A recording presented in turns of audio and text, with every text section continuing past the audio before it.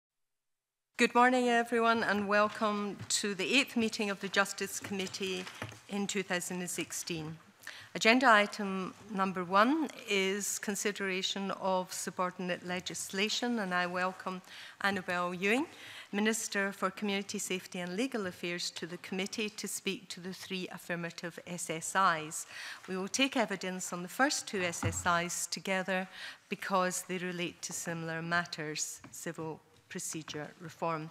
I also welcome um, the two officials accompanying the Minister this morning, Walter Drummond Murray from Civil Law and Legal System Division, and Greg Walker from the Directorate of Legal Services. And I remind members that officials are permitted to give evidence under this item, but not to participate in the formal debate on the instruments of item two on the agenda. Um, It's a, uh, a chance for um, item three. This item on item three is a chance for members to put the ministers and officials, uh, to put to the ministers and officials any points that they seek clarification on. However, without further ado, um, I ask the Minister if she would like to make an opening statement. Excuse me. Yes, thank you, Convener.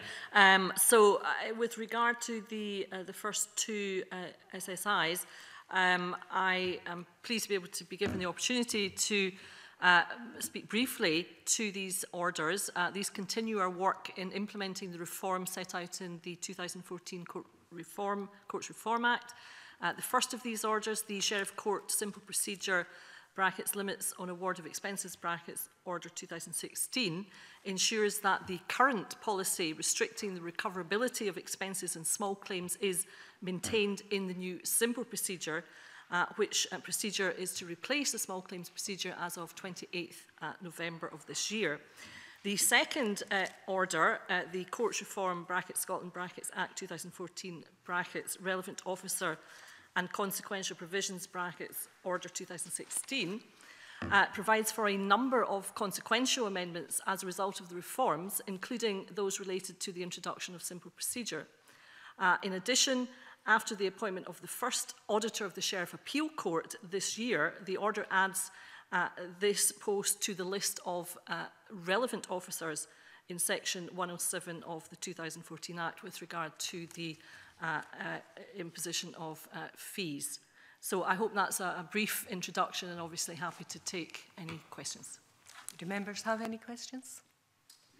Yes, Stuart Stevens.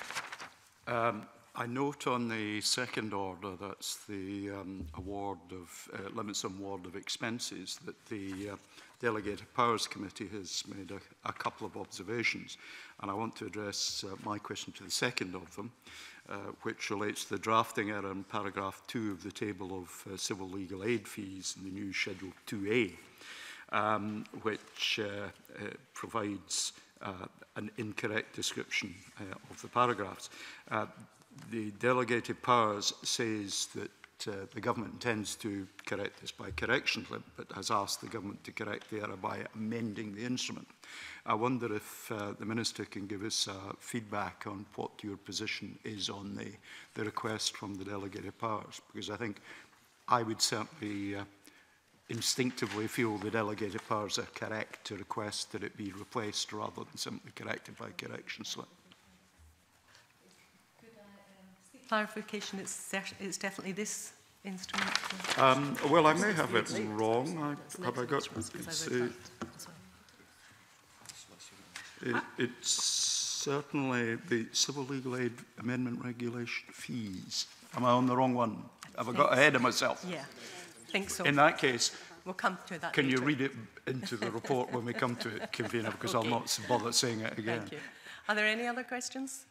Minister, do you want to make any closing remarks? No, thank you.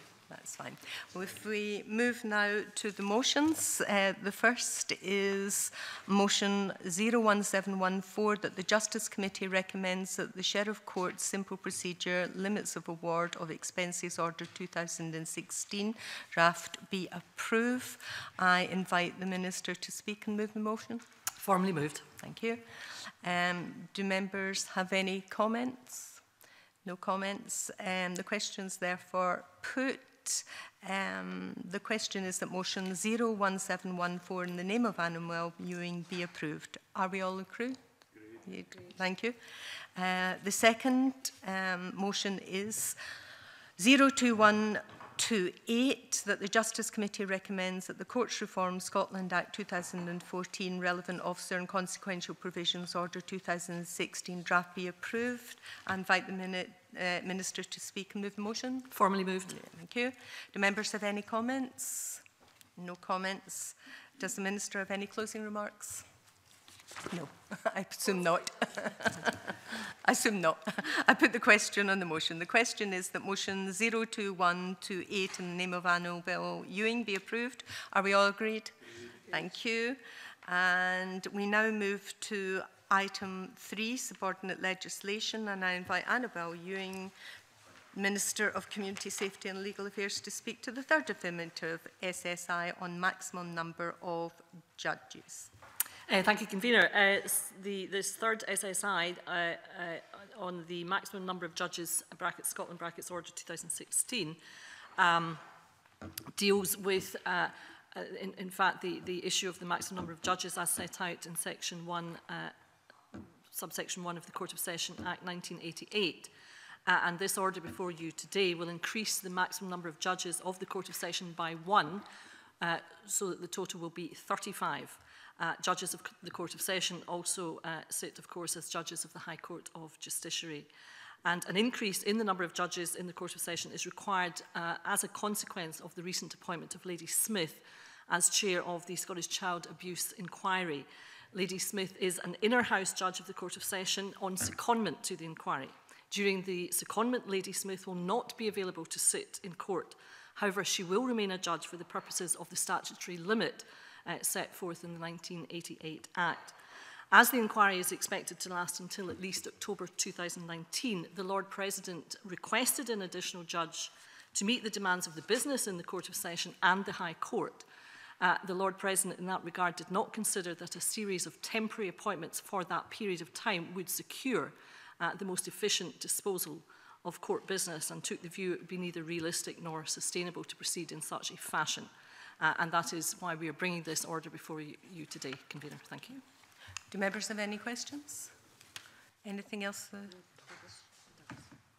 Oh, sorry, Douglas. Mm -hmm. uh, could I ask the Minister what happens following the uh, completion of the inquiry in 2019 to the number of judges? Well, uh, in 2019, it would depend on the facts and circumstances at the time. If that is when the inquiry finishes, Lady Smith will remain uh, an inner court judge. As to what the total number of judges will be at that time will depend on, uh, obviously, who else is, is there and who's seeking retirement. But what the Cabinet Secretary has made clear to the Lord President, further to the Lord President's request to increase at this time the overall number to 35, although in effect we are looking at 34 operational judges uh, and the Cabinet Secretary did indicate that it would indeed be sensible to review the desirability of maintaining the number of judges at the maximum each time a request is made for a new senator appointment in the future. So obviously this will be kept under consideration as we go forward. So do you think it's fair to assume that there will be a request made at the completion of the inquiry to reduce the number to 34?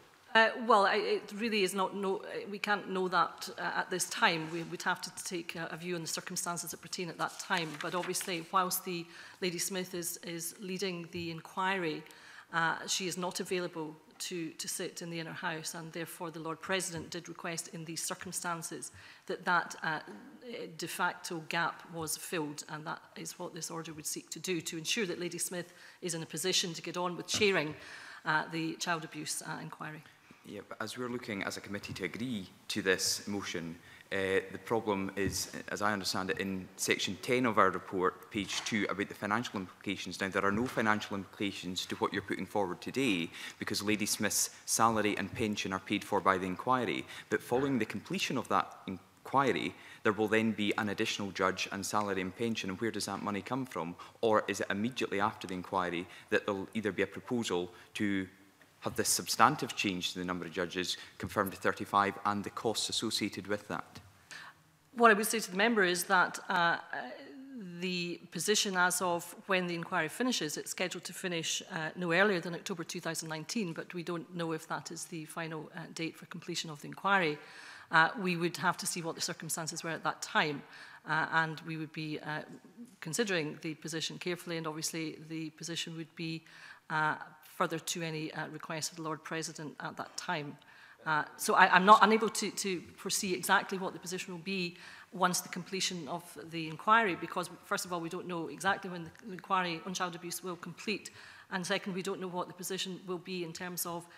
the number of uh, judges, senators, uh, uh in, in post at that time. Of course, things can happen in the interim period. Therefore, it's, sorry, if I can just sure. come on that point. Therefore, it's incorrect to say that this is cost neutral. It's cost neutral at the moment, but there will be a scenario when Lady Smith finishes finishes her inquiry, whenever that is, and there will then be 35 judges all paid for uh, because she will no longer be, well, uh, the, the minister's uh, aide is shaking his head, but she will only be paid by the inquiry, presumably, as long as the inquiry is ongoing. And therefore, whenever the inquiry finishes, we will have 35 judges, and therefore it can't be cost neutral because at that point, we will start to pay for 35 judges and their pensions rather than 34, with Lady Smith being paid her salary and pension by the inquiry. I think what the, I think what the, we're saying is that it's cost neutral as of today. It's cost neutral. I, I'm not making any predictions as to the future because, as I say, there are, are at least two variables here. One is that we don't know exactly when the inquiry will complete. The inquiry should be allowed under the excellent direction of Lady Smith to do the job that it has been tasked to do. And second, we don't know uh, eh, what will pertain in terms of the number of judges and who may be seeking to retire in terms of senators at that unspecified date in the future. So I, I'm trying to be helpful, but I can't uh, I can't take out a crystal ball today. What I am saying is that as of today, the position is that this uh, uh, uh, order would be cost neutral. Uh, and as to further years in the future, we would, of course, keep this matter under consideration. I did uh, point out to the, uh, the committee convener that the Cabinet Secretary has already made that clear to the Lord President that this matter will be kept under consideration. And I hope that the member will find some assurance there that we are very carefully looking uh, always at the, the cost of, our, uh, of the operation of the justice system. Back to this committee. I, I'm fairly confident that any uh, uh, change to the legislative position would require to come back to the committee and I would be happy if in post to come back and uh,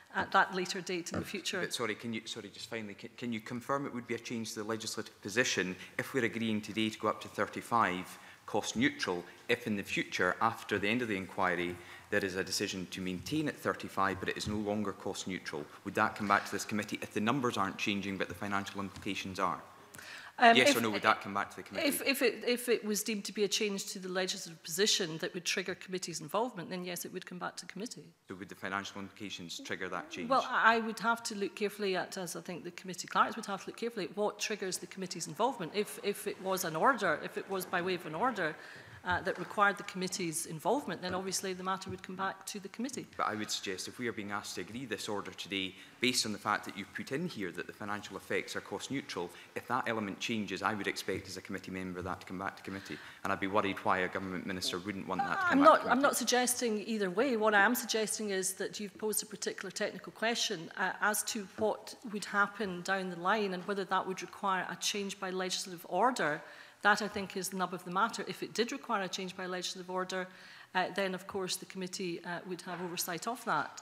So I, I, I, I'm trying to be helpful, but I can't. I don't have a crystal ball to deal with all the variables involved here. Two principal ones of which I have mentioned a couple of times to the member, uh, and that it's cost neutral as long as inquiry uh, continues. As soon as the inquiry ceases, there will be a cost implication potentially. And um, perhaps the Minister could write to the committee if she's not able to tell us today if it would come back to the committee or just exactly what the procedure would be in that event. Happy to do that, Convener. Yeah. Stuart Stevenson. Um, just very simply, uh, Minister, um, is the government, as a matter of policy, uh, continuing with the view that the number of operational judges required is 34?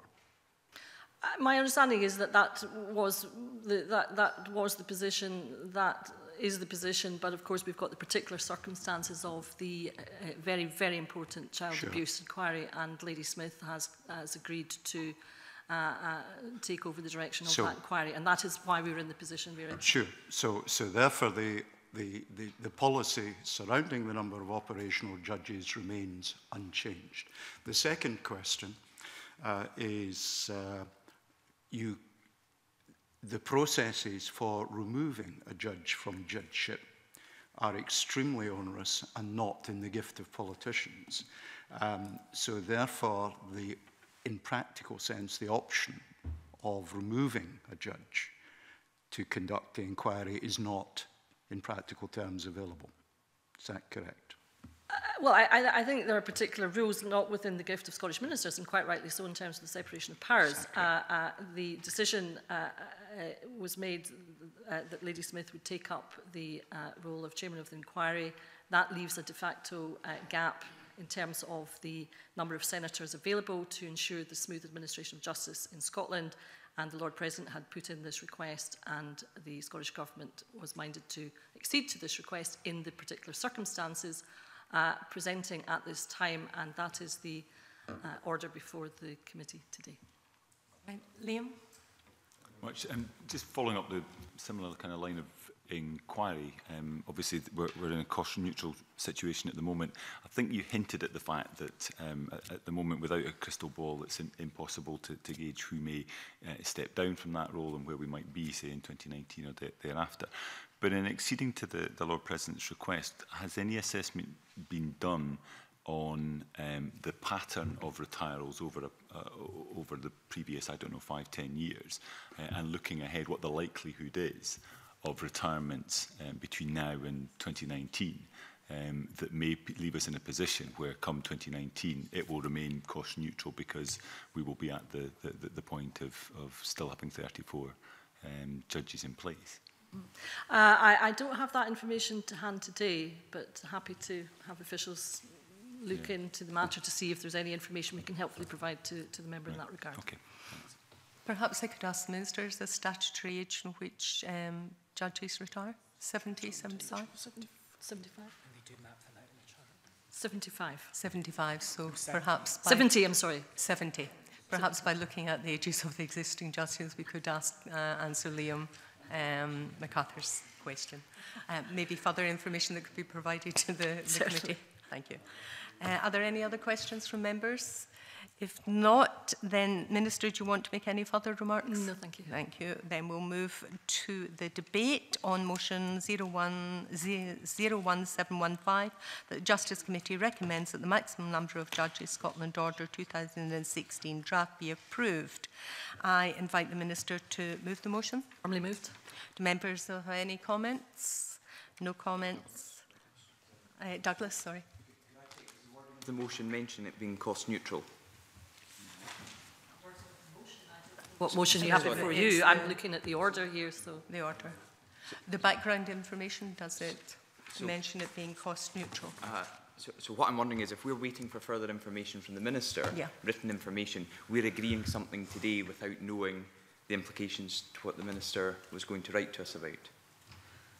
I don't think it affects actually the, the motion today, um, per se, I think that the relevant question might be uh, when the inquiry ends, we don't quite know what the implications will be. So if we were dubious at all about appointing perhaps Lady Smith...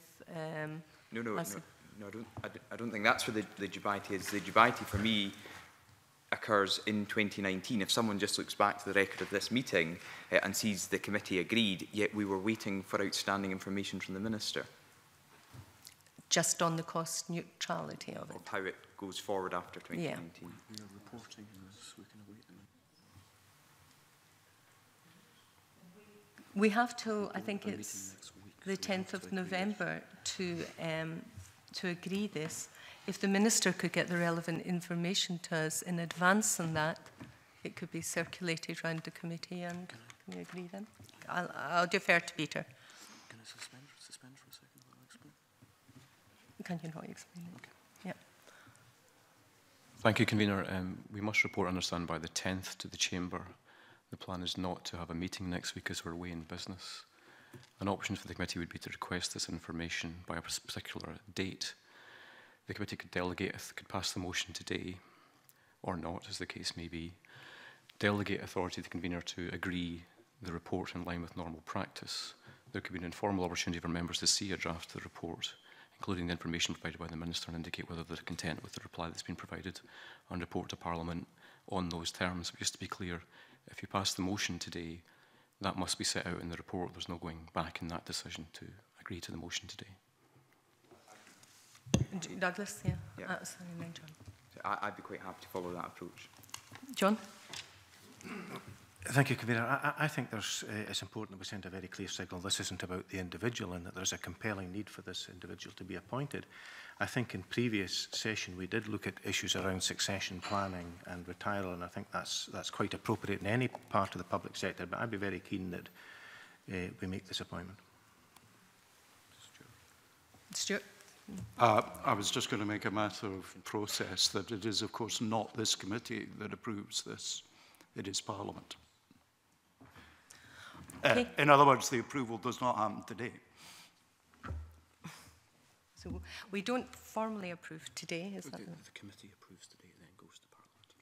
Right. The committee can approve it today, and pending the um, the information from the minister, Parliament will confirm that approval. Everyone happy? Right. Okay. So in that case.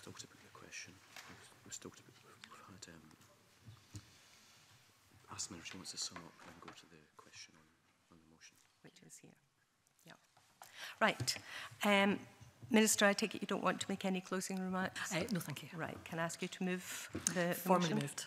Um, and we're agreed on the um, course that we want to um, to approve. The question is that the motion 01715, Nemanano Ewing, be approved. Agreed. Are we all agreed? agreed right.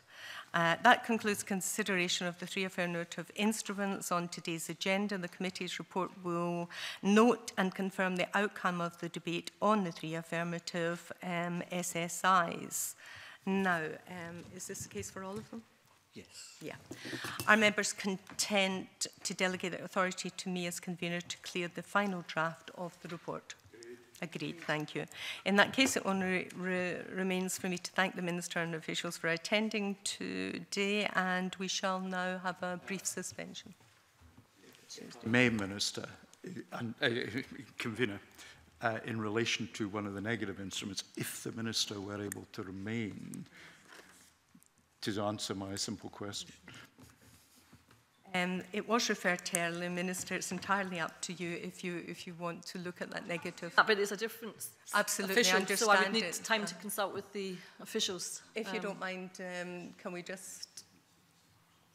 I mean, how important is it? No, no, it, it, it's only a matter of process that uh -huh. you I think if it's just a matter I, of process. I, I, I, I, I think I think it would be just simply helpful if the government indicated uh, in relation to what delegated powers have said in relation to the errors, which I accept are comparatively minor, what their intentions mm. are. And that is all there is to it. Not necessarily now.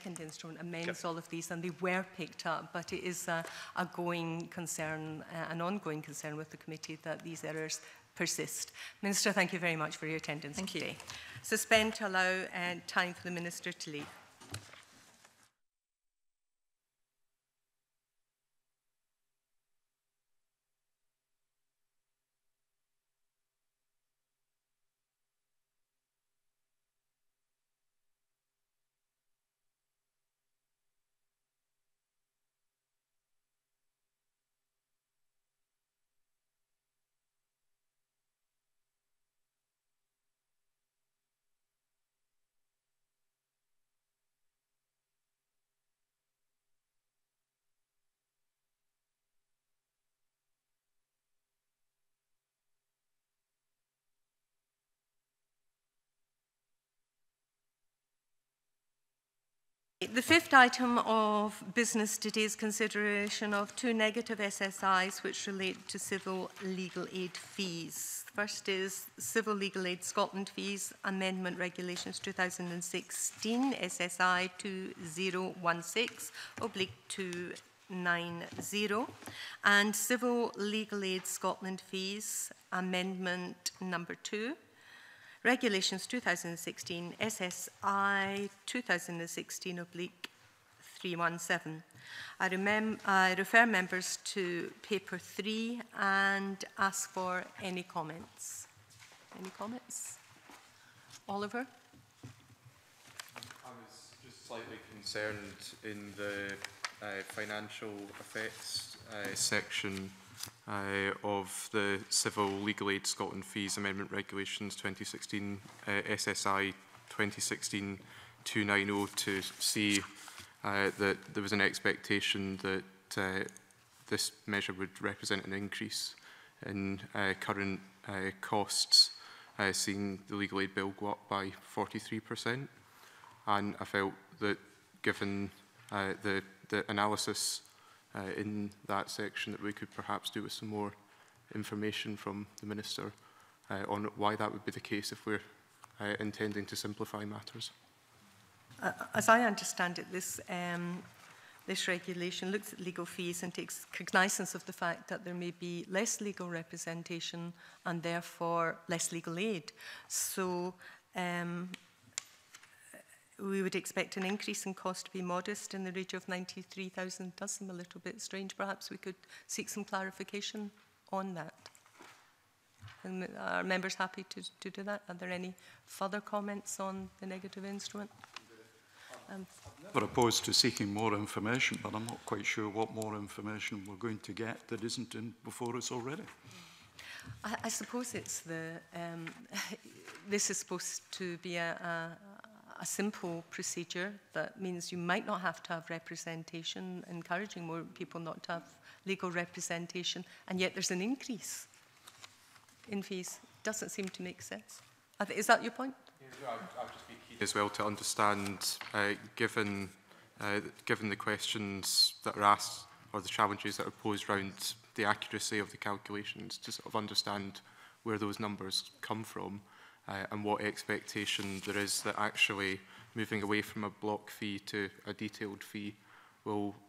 you know, increase the bill.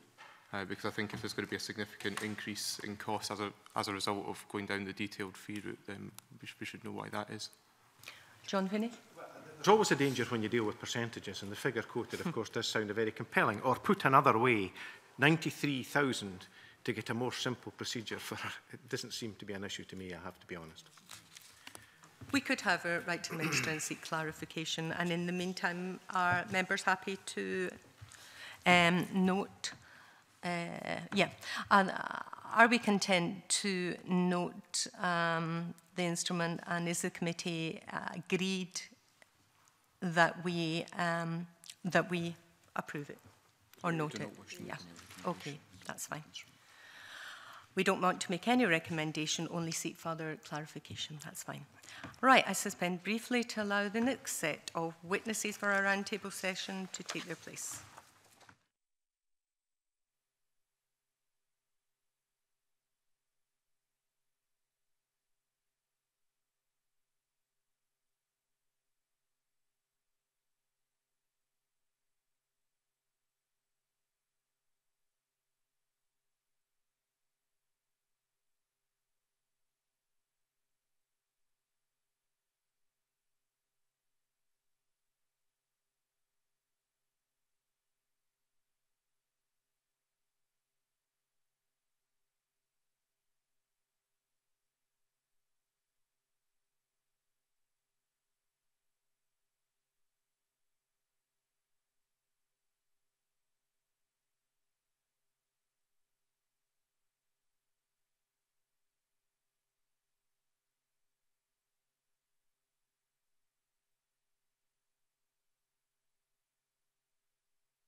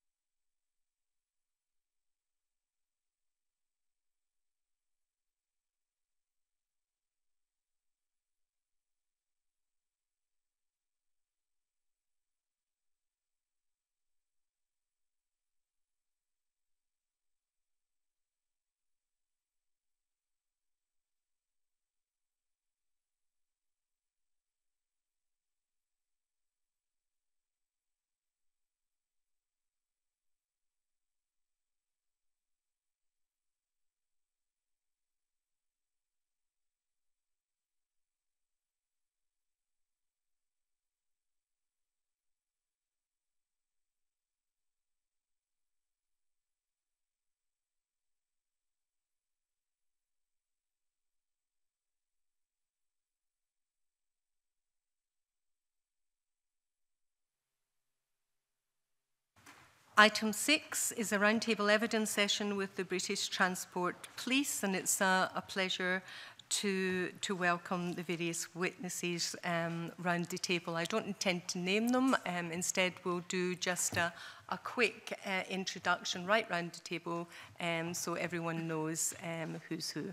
I'm Margaret Mitchell, convener of the Justice Committee. I'm Rona Mackay, Vice Convener of the Justice Committee. I'm Nigel Goodband. I'm the chairman of the British Transport Police Federation. I'm Darren Townsend, the General Secretary of the British Transport Police Federation. Mary Fee, MSP, West of Scotland. Stuart Simpson, MSP, Bamshire and Buchan Coast. Uh, Bernie Higgins, Assistant Chief Constable, Operations and Justice, Police Scotland. Mary Evans, I'm the MSP for Angus North and Mearns. Oliver Mundell, MSP for Dumfriesshire.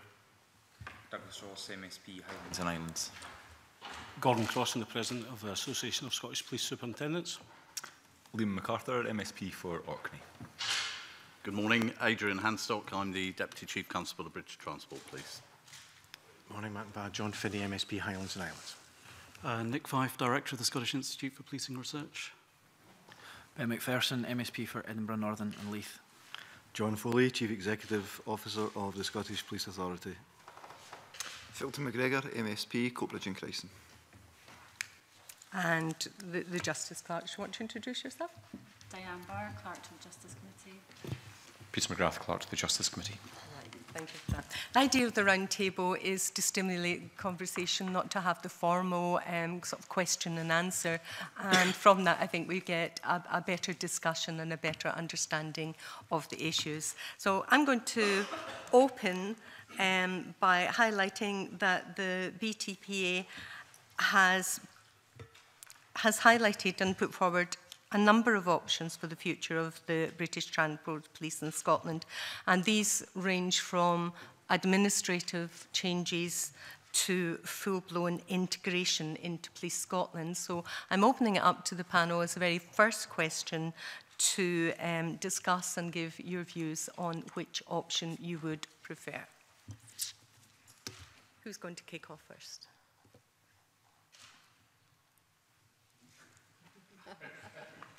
very much. Um, thank you very much for inviting us along. And um, I think we've made clear in, in all of the submissions, we absolutely understand the, um, the right will uh, and, uh, if, if you like, the direction of elected officials. And, and that's what we'll work in to ensure we contribute properly uh, to any changes that emerge. Um, st sticking with the, um, the actual question, which would be the preferred model? Well, I think um, if I had to nail our position down, it would, at this stage, uh, be recommended uh, option two, which is more of an interim and incremental development that preserves the, the best of what we think is already in place for the force, uh, doesn't introduce additional layers of uh, complication, but ensures that the Scottish Government retains um, direction, control, accountability, has um, some control of, of funding or control of funding, whichever is chosen, but taking more of the direct leadership of the force, uh, ensuring that we, as I say, are accountable, but preserves the operational capabilities that we think are significant. And the transport policing ethos we describe throughout our submissions is really what is at the heart of BTP, why it is different and specialist. I should just have said, if you, you do want to make a contribution, just catch my eye or um, just indicate, or the clerk's eye. Uh, you don't have to press any buttons. Um, as if by magic, then your microphone will come on. Anyone else? Who have we got? Oliver Mundell? Yeah. I think if you're saying the option two is uh, your preferred route, I, I guess the question really is what, what uh, do you and some of the other panelists uh, make, make of the sort of haste in, in bringing forward such a significant change and, and what do you think is, is motivating that? Um, I guess it hinges on the, um, the influence that clearly Scot Scotland would like to have over the, the way the force operates. Um, there's, there's been a number of points I think made throughout and I've seen certainly some of the public uh, comments uh, to use an old hackney phrase, if it's not broken, what we're trying to fix. But I think the, the force executive uh, and, and significantly stakeholders accept and acknowledge that Scottish public, Scottish uh, politicians want to have um, a controlling hand, a, you know, a clear say in what the force is doing. Now, we don't think there's anything, arguably, that is out of kilter with what that might look like. Um, you know, we're absolutely open to, to stronger accountability, more exposure to what we're doing and why, and why we feel that that adds value both to the public but also the stakeholders who run the railways. Um, and I think just in a nutshell, that's why that option feels to, to be a win-win really for, for both sides without adding additional expense, additional controls, uh, in effect creating a, a border for operational policing that we don't need to do. So I, I suppose you're saying that one of the real strengths is that you have this free-flowing um, across the whole of the UK and that that may be challenged in some of the other models? Indeed, and you know there are some examples in our submissions. You know whether that's around football policing, um, uh, the movement of uh, you know large numbers of people uh, that we know can be problematic for all passengers, uh, or impacts of incidents. Um, you know, with, without putting too fine a point of it, dealing with disruption to the uh, services that can be quite significant caused by fatalities, bomb hoaxes, abandoned luggage. It's understanding the impacts of those. Uh, in real stark terms, an incident occurring in Edinburgh very quickly within an hour is impacting in the Midlands and London and elsewhere. What we can swing into place automatically without any control or negotiation is a response to that, whether it's managing people, whether it's rerouting services because of the embedding uh, staff we have in different train operating, um, uh, regional operating centres, control centres, it just happens. We don't have to then negotiate to say, we've had an incident, can you now arrange for your people to take on these, um, these additional measures for us so that we can preserve services? If you'll indulge me one second, you know, one of the feedback I had on, not in relation to this issue, but from a train operating director just last week was, he said years ago, if, if we had a disruption to service, we would be rolling out um, replacement bus services, marshals to deal with crowds, um, great big pieces of communications. He said, now we have a level of confidence. BTP hands the service back to us within 70 minutes. For 70 minutes, it's inconvenient, but we can manage that because we're confident in the way that you bring all of the elements together. And that includes their staff. It's not just a policing response. Now, the point I would make is how do we preserve that? How would we wish to preserve that without introducing a dual control that could um, introduce further delay would, would be our position. I'm going to give priority to the witnesses and then bring in the members, if that's okay. So Dan Tan's then followed by John Finney.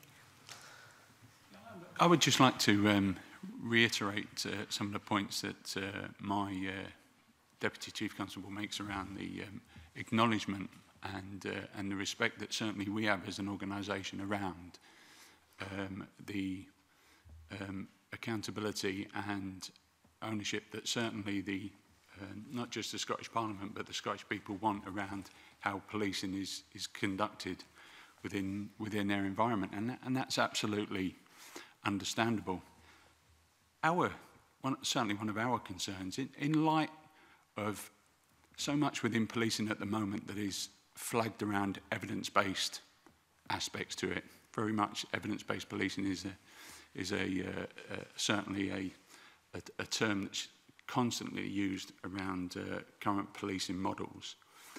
We would really like to know as an organisation what is the evidence base from, from, from where this decision is coming from to, to change what has already been Uh, shown as, as being a successful policing model and a model that works not only for for um, England and Wales or any of that sort of stuff, but more importantly, is shown to work successfully for for the people of Scotland and for the travelling public in Scotland. Uh, and that, you know, that was what certainly something that I was hoping to get out of today, to get an understanding of, of the evidence that, that, that, you know, supports the reason for the, for the change. I'm not sure that there's anyone qualified here around the table to give that um, that evidence or, or to talk to that evidence, but it's most certainly a point that's that's worth making during this roundtable discussion. Um, is it specifically on that point? It's just a very quick remark. Yeah, just, yeah. just to say that it, it was brought forward as part of the Scotland Bill, so that's where it you know emanated from. I'm not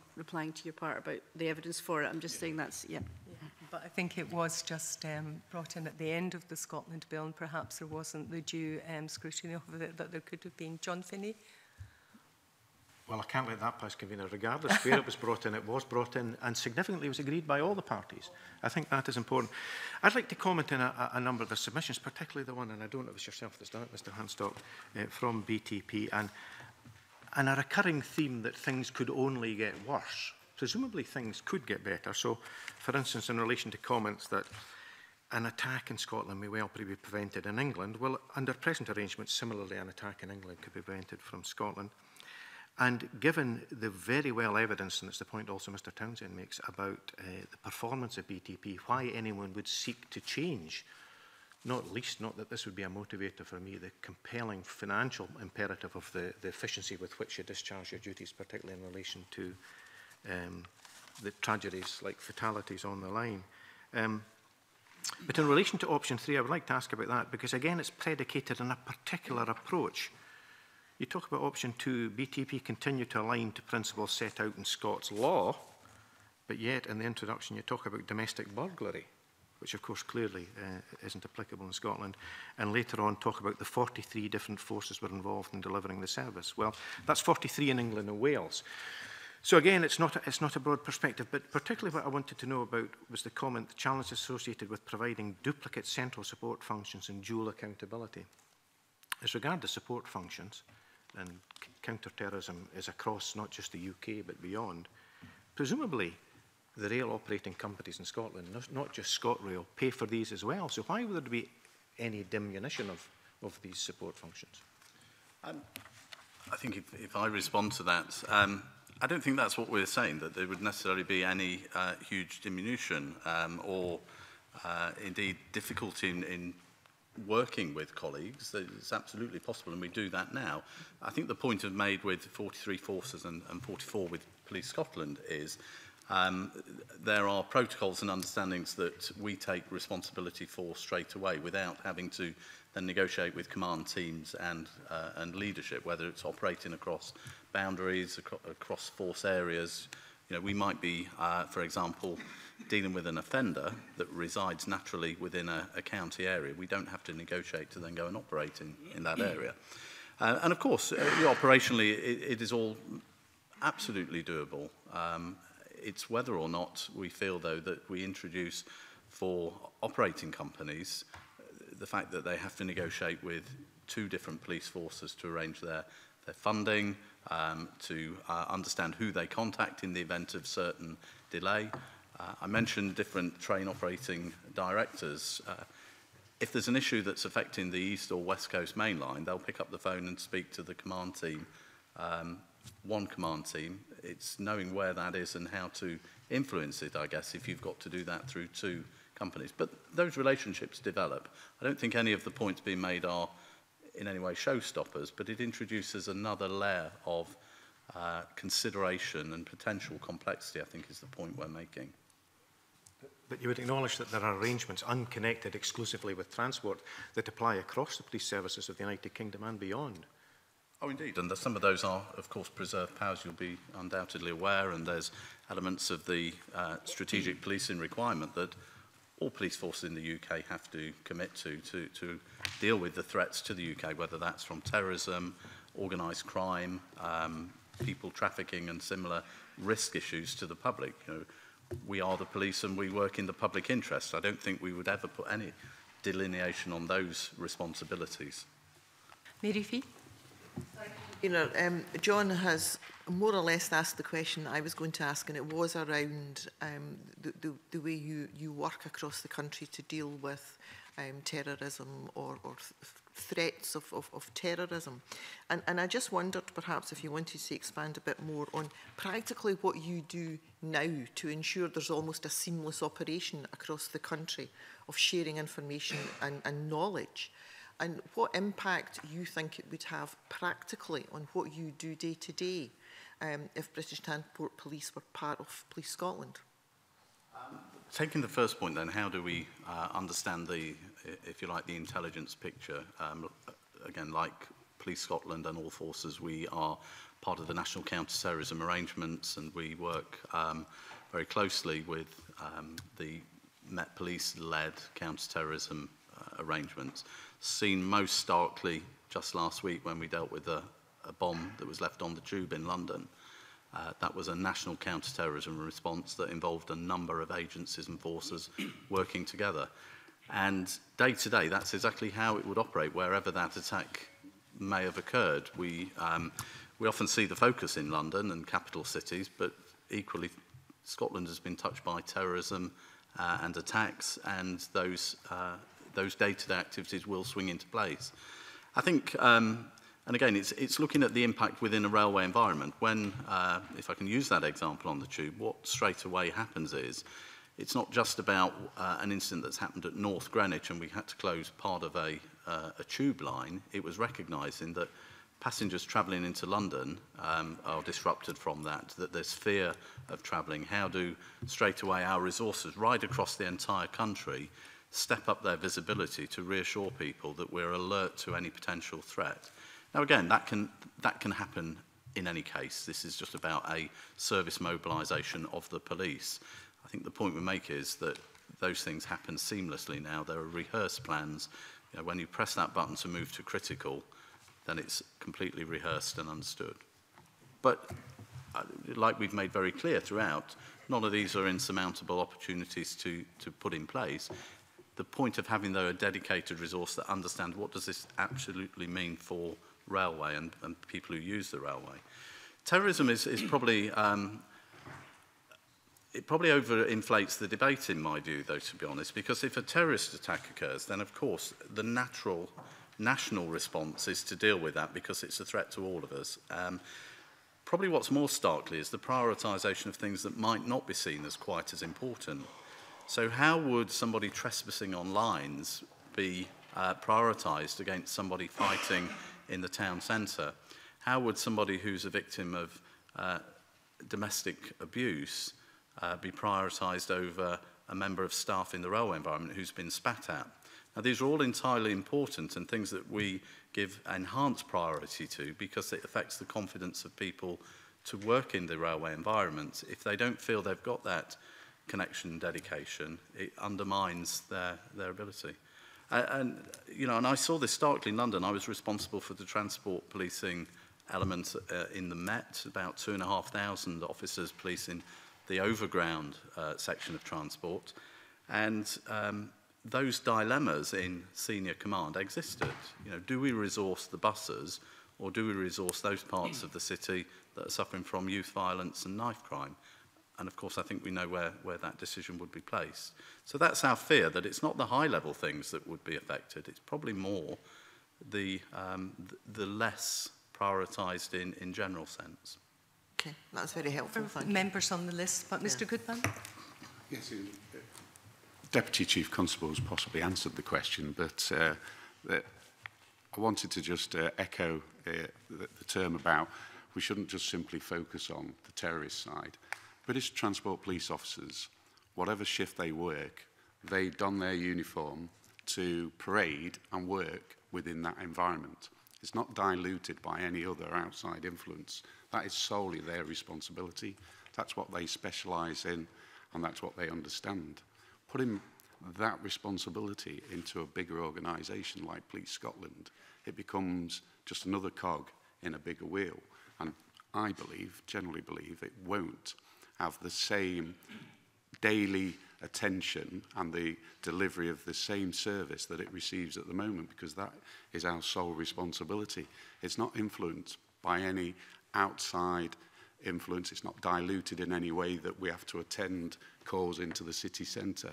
We are solely focused on policing that environment and that is why we are specialised because it is a particularly difficult environment to police. It's it's unlike any other environment in policing, to be honest. Um, and then um, um, Nigel's um, right, maybe I didn't fully answer it. Where that flows through more, more pertinently, though, is in the leadership, because all of the, um, the leaders and people who've been promoted in the force have experienced that environment as constables and first responders.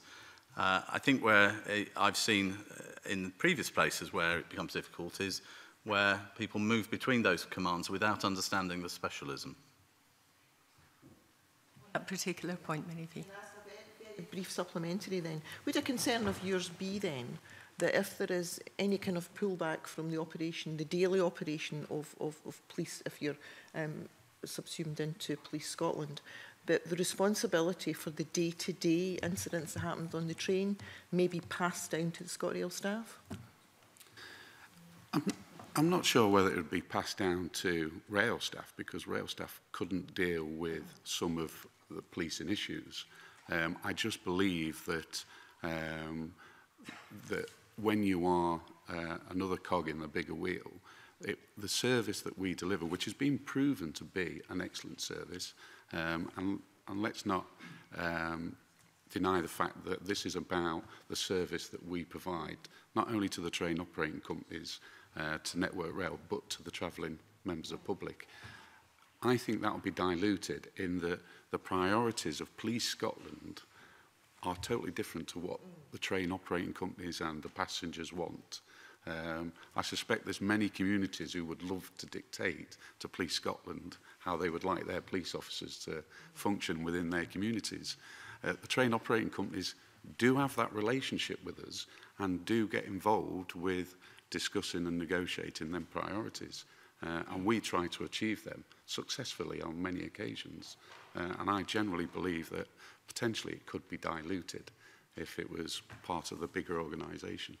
I take Douglas Ross, but I'm conscious I haven't heard any comments from Police Scotland or the Association of Police Superintendents. Perhaps, uh, Mr Crossing, you'd like to come in just now before I take Douglas? Okay, uh, I'll touch on that. Um, there could be a detriment to service. Absolutely, everybody gets that. But I would also say is that it could be an enhancement to service um, by the ability to flex resource that exists within Police Scotland who could go and assist on incidents on the, the railway. I think for me is that what we have to make sure is that there's no detriment to service to the public that they get from Police Scotland as it exists just now or from British Transport Police. I think the, the bigger issue for me that's not been discussed is about cross-border policing powers moving forward. We know just now that um, British Transport Police do a lot of work for us, particularly around about events, football, etc., um, where they, they seamlessly move across the border, um, protecting um, our public. Now, that would take a legislative change, in my mind, to allow that to continue if these officers then became part of um, Police Scotland. Um, and if that legislative change didn't come through, then we couldn't provide that seamless um, service to the public as it exists just now.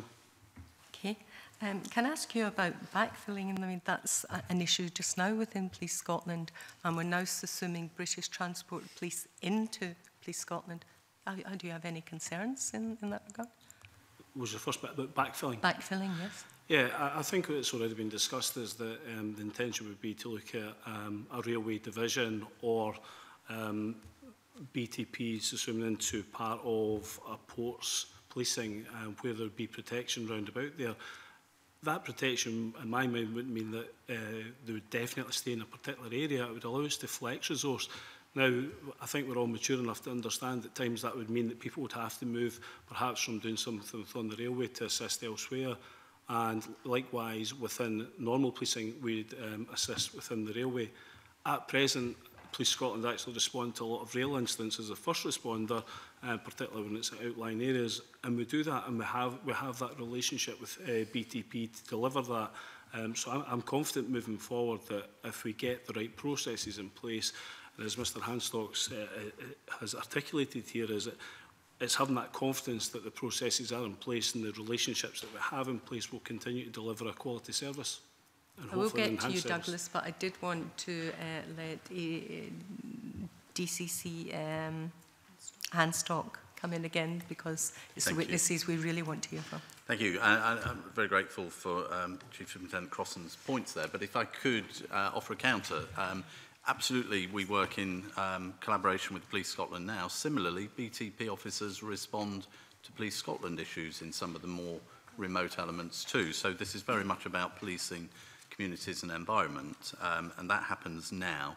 Um, and on the point of cross-border collaboration, yes, of course, it's entirely possible to uh, legislate for jurisdictional um, capacity, but I guess the point would be is why would um, BTP provide that additional cover, arguably, if they don't have responsibility for Scotland anymore. You mentioned about events, policing. We do that seamlessly now. We will move people from our C division up into D, which is Scotland, without any consideration of what the implication of that is, because that's our end-to-end -end policing. But if we didn't have responsibility for Scotland, why would we want to move those resources in that way? It would, I guess, be a commissioned service that Police Scotland would have to pay for. Can I um, bring perhaps um, Mr Higgins in just now because we haven't heard from you at all? Uh, thank you, Convener. Uh, good morning, colleagues. Um, I don't really have too much to say other than to uh, give you a, a broad overview of what the, the Police Scotland position is and then give some general comments. Um, firstly, um, you know, this isn't a, a land grab on, on the part of Police Scotland. Uh, we will respect the decision of Parliament um, and um, uh, deal with the deal with that decision. Um, in terms of, of uh, operationally, I have to agree with the uh, DCC. It's um, complicated but not insurmountable. Um, and operationally, we could absolutely police the rail network in Scotland. Um, there would be some uh, massive transition issues to, to overcome, and we would need to plan very carefully for the future in terms of what the DCC talked about in terms of senior officers having that uh, intimate knowledge over a number of years. But Operationally, it cannot, uh, it cannot be said it's insurmountable. Um, where it is more complex is, is certainly in the back office in terms of conditions of service uh, for existing staff, for the, the, the officers themselves, in terms of their pensions, their contracts. But again, that's something that, that brighter people than me, I guess, can, can work out. In terms of um, when we talk about resilience, um, if we entered into a, a, service level agreement with the rail operators, then like any service level agreement, the Chief Constable would undertake to maintain uh, that level. Uh, and right now, we would absolutely undertake to maintain the current level of staffing within train stations across Scotland. Uh, and as Gordon rightly pointed out, in many occasions, um, that would be supplemented by existing Police Scotland asset and resource. Like everything else, though, police officers are police officers. Eh, and I'm sure the DCC would agree with me, if there was a threat to life incident outside a train station, then the expectation, even as it is just now, then BTB officers would go and deal with it. Um, but to give the, the committee some reassurance, um, we would absolutely enter into an agreement with the, the, the train providers uh, and give that guarantee that we would maintain the, eh, the current level of uh, officer provision. Uh, and in addition, um, we would afford grandfather rights to all existing BTP officers, which in essence mean if they want to continue and serve within the, the BTP for the, the remainder of their police career, then we would respect that wish. Okay, I'll let Douglas in because he has been waiting very patiently. Thank you, Convener. Uh, eh, I've got a, a few points to make. Can I first of all come back to the point made by Rona Mackay and, and John Finney? Yes, there was cross-party agreement with the Smith Commission to devolve uh, the functions of the British Transport Police to the Scottish Parliament. What there is certainly not cross-party support for is the uh, destruction of the British Transport Police as it is and assuming it into uh, an opposition, sorry I'm speaking John, and assuming it into an organisation which is still going through considerable challenges uh, since the formation of the single police force uh, over three years ago. Now I would like to start my questions with um, eh, Police Scotland and uh, eh, Mr Foley of, of the SPA. Can I first of all ask what um, specialists and national resources that are available to Police Scotland are you currently withholding from the British Transport Police? Uh, none. Okay. Uh, a very close working relationship. So, for example, whenever we have a major event, um, Ryder Cup, Commonwealth Games, the recent Old Firm game, then British Transport Police are at the planning table. Um, and uh, if they require any of our specialist assets, you know, dogs, firearms officers, uh, public order, then uh, we absolutely would supplement it. It's the right thing to do it's, it's absolutely the right thing to do, and I'm encouraged by that because it, it's uh, in stark contrast to what the First Minister said in the Chamber uh, earlier on this year when she said that the move to assume British Transport Police into Police Scotland will allow them to have access to that specialist and national resource that Police Scotland has access to. So the First Minister is telling MSPs in this Parliament that you're withholding access, yet you've just very clearly said there that there are no functions that you currently have that you won't give to the British Transport Police in its current format. There's there's nothing, the, the dogs, the uh, eh, organisation with major events like the Ryder Cup. So I'm very encouraged to hear that response because it's certainly uh, not the impression that was given by the First Minister in the Parliament. It's not for me to speak on behalf of the First Minister. No. Um, however, what I would say is that uh, our specialist assets are not routinely deployed into BTP. It's a matter of uh, request and consideration um, and to my knowledge we would never we had never refused a request But what I'm saying is that uh, should this occur, then it would be routine deployments of additional assets into the, the, uh, uh, the railway estate as opposed to on a, a needs must and request basis is currently the, the position. It's good to hear this, this you know, good working relationship that you, you currently have that is not denying any of that availability. Can I ask either ACC Higgins or Mr Foley, what were the discussions that the SPA or Police Scotland had with the Scottish Government prior to the Scottish Government's consultation on the future of BTP within Scotland?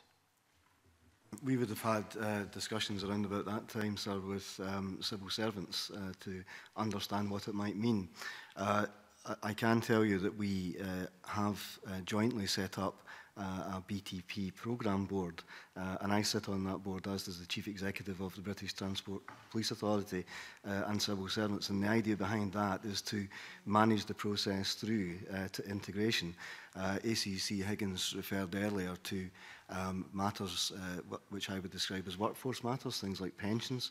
Uh, so we're working through those aspects of it to make sure that everyone uh, from a people sense is, is, uh, is taken care of and that we get the best possible outcome. That, that's useful, but that's post the announcement of the consultation by the Scottish Government. Now, the Scottish Government could have had a consultation on what to do with British Transport Police in Scotland. Instead, their consultation was how do we integrate British Transport Police with Police Scotland? Therefore, what I'm trying to get at is what was the discussion with Scottish Government before their consultation, which basically said unambiguously it will be merged into Police Scotland rather than there are three options of varying degrees of complex uh, nature. We've gone for the most complex and um, difficult merger and therefore they must have had assurances from Police Scotland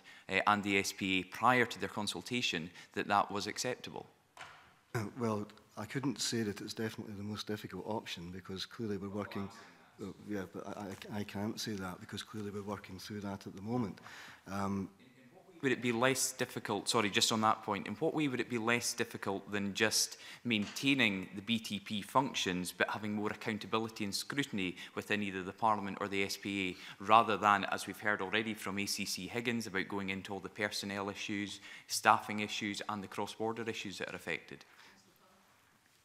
Sorry? Oh, yes. Uh, I wouldn't say that it was necessarily uh, more or less difficult. It depends on what the outcome is at the end of the day.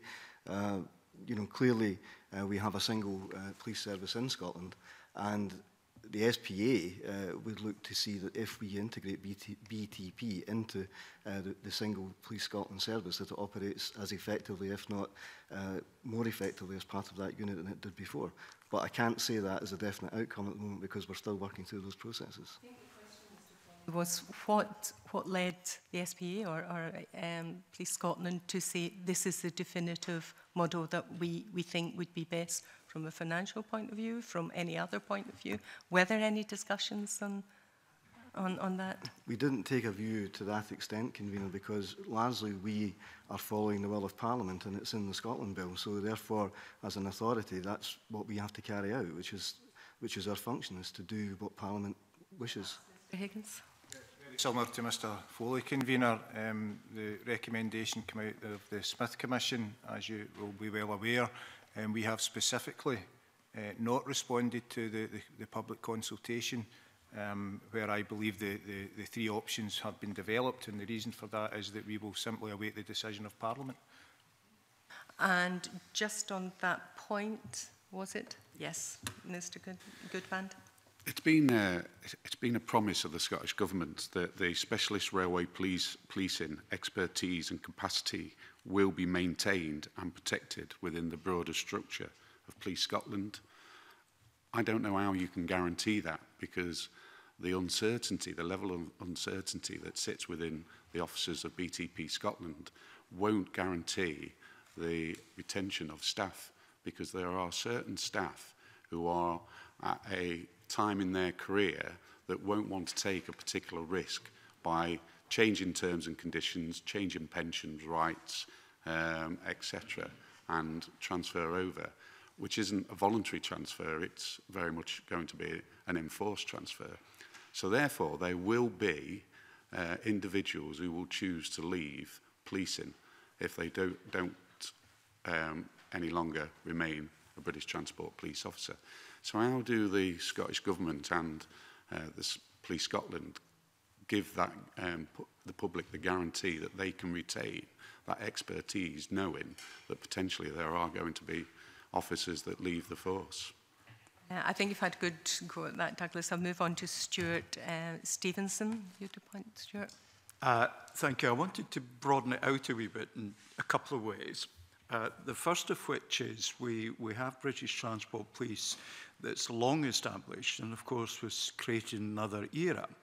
And as specialists in uh, moving large numbers of people around, it's only rail for which they're responsible. And I wondered whether the skills and uh, abilities and experience uh, could sensibly equally be applied to other modes of transport, in particular like ferries and in particular like, like airports. I mean, for example, the incident that there was, I think, last week where it appears a CS canister was released at London City Airport. If somebody had walked the four minutes it takes from the check-in desks to the Docklands Light Railway, then it would have been the British Transport Police dealing with it, but as it happened, I presume it would be the local special branch and armed response people who would be resident in the, in the airport. It, it strikes me as a kind of obvious thing that That's seamlessness. But of course, there is the further complication that the previous Mayor of London, Boris Johnson, and the current Mayor of London uh, are interested in merging the City of London Police, the Metropolitan Police, and the British Transport Police in London.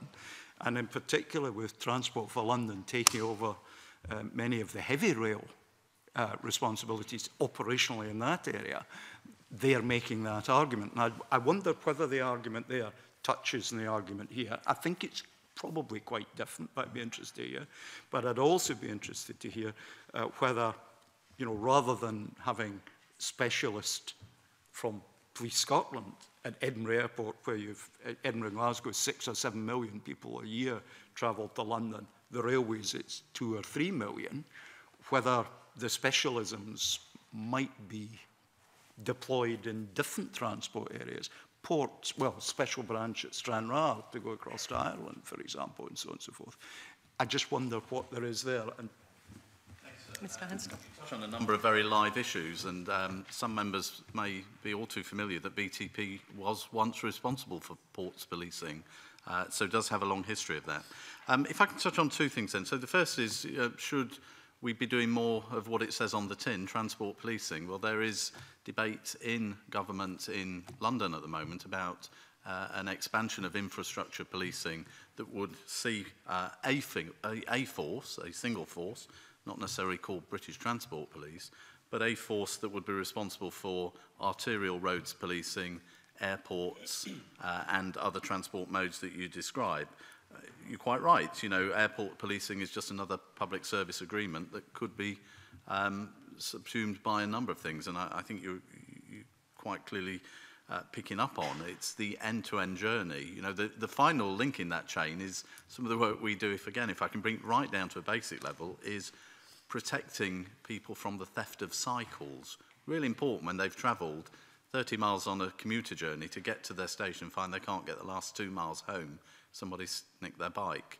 And that's why our focus is sometimes at odds with what geographic policing might see as a priority.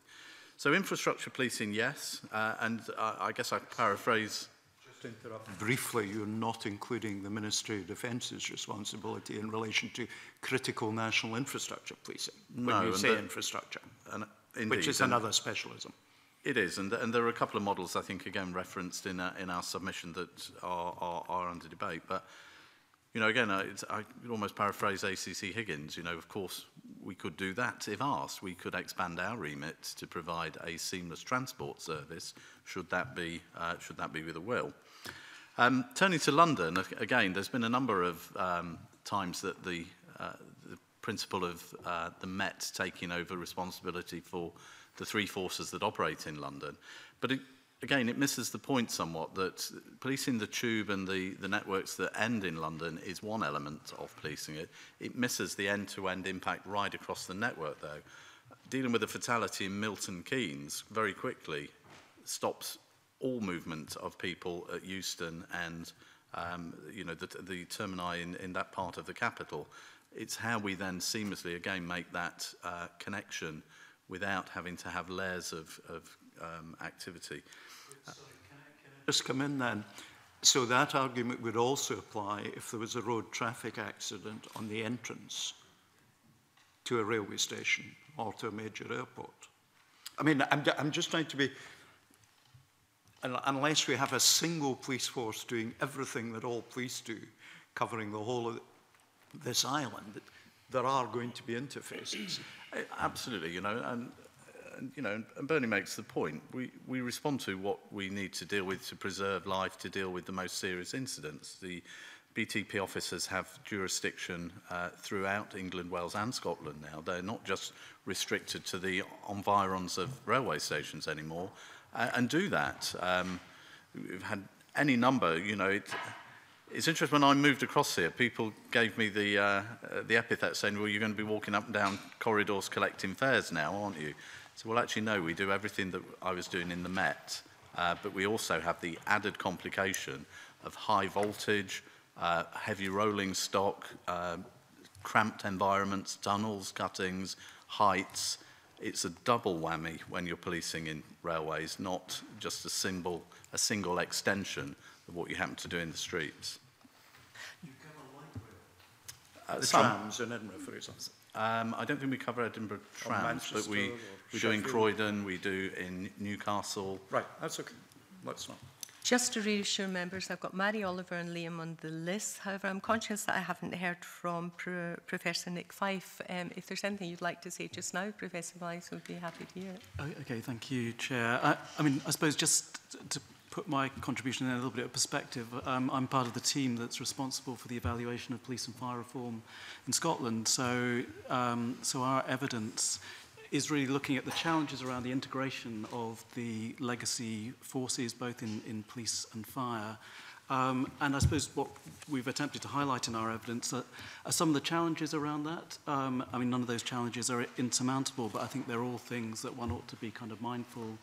of in relation to this. Um, and I suppose just two or three kind of key points. One would be the need to clearly articulate the, the benefits of inter integration. I mean, going back to Mr. Townsend's point about having an e-, evidence base around a, a policy decision of, of this kind.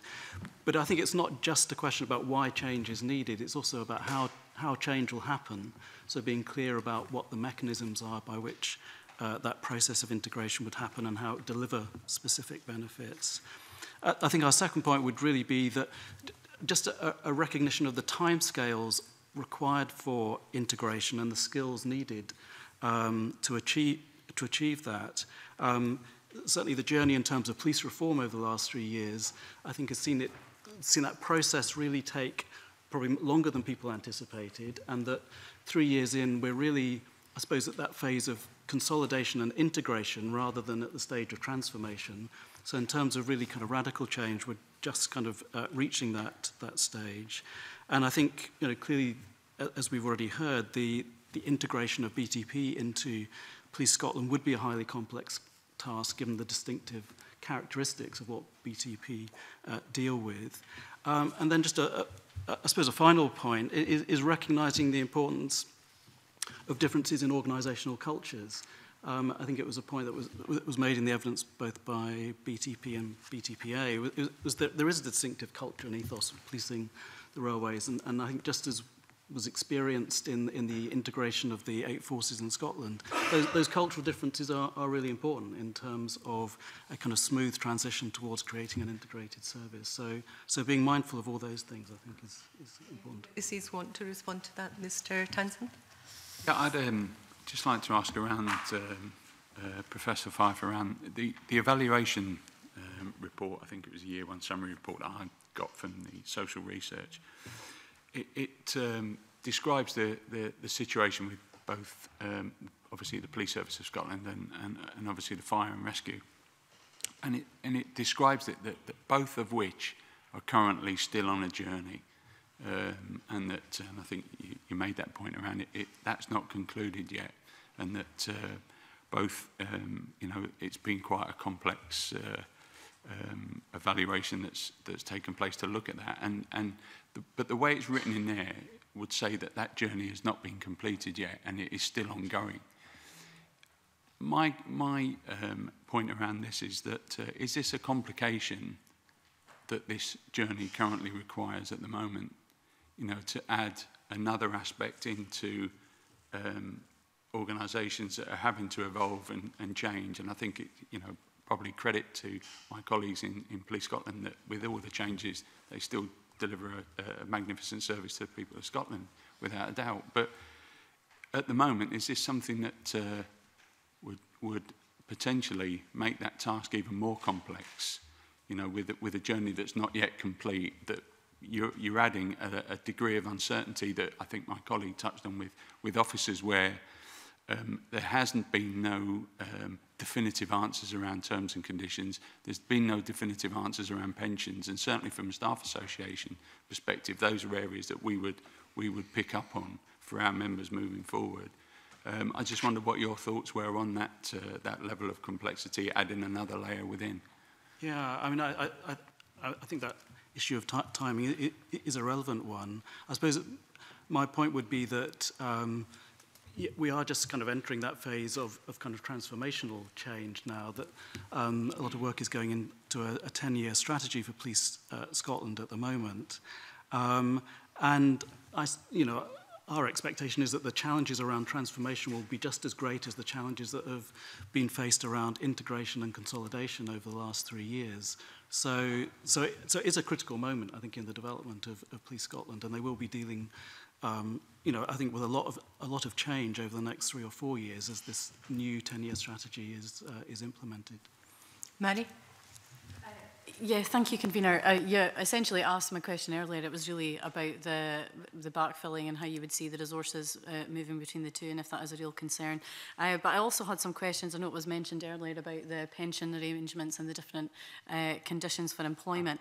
So it was just to see and to ask you if there have been discussions about that so far. Uh, have you been given any assurances, or what assurances would you be looking for in terms of pay, pension arrangement, arrangements and conditions for service? Uh, uh, to ensure that there wouldn't be any financial detriment to officers should that, uh, should that happen. Mr Hanstall? on that point, that is probably the overarching complication of this. Um, we've explored, I guess, some of the operational limitations, notwithstanding it's all um, quite possible to, to overcome those, arguably with some dual controls that we wouldn't ideally wish to see. But the pensions, the terms and conditions, the legacy rights, the travel arrangements, the resettlement um, uh, obligations, it's, I guess, complicated by the fact that British Transport Police officers and staff are employees, not Crown servants. Uh, and I think, we, again, we've, we've referenced some of those complications that we haven't yet seen a, uh, a clear way through. I understand officials are very much looking at that, but it's a, of deep concern to the members of the force, as, as the Federation have pointed out. And I think on that point, and it's Professor Fife's point about culture, you know, there is, there's a reason why our officers choose to join BTP. It is a very specialist policing role. Uh, and equally, those officers could have chosen to join Police Scotland, but they want to be part of the very specialist force and function that we, we play. Um, I've had the luxury of working in both environments. I've worked in, this is now my third police force, And I do see a distinction between the policing uh, in British Transport Police. Um, the responsibility and some of the things that officers do that are unlike any other police service. Um, the, in stark terms, dealing with the tragedy of fatality on railways, they work and deal with things that I'm not aware any other officers I've worked with have had to deal with so frequently.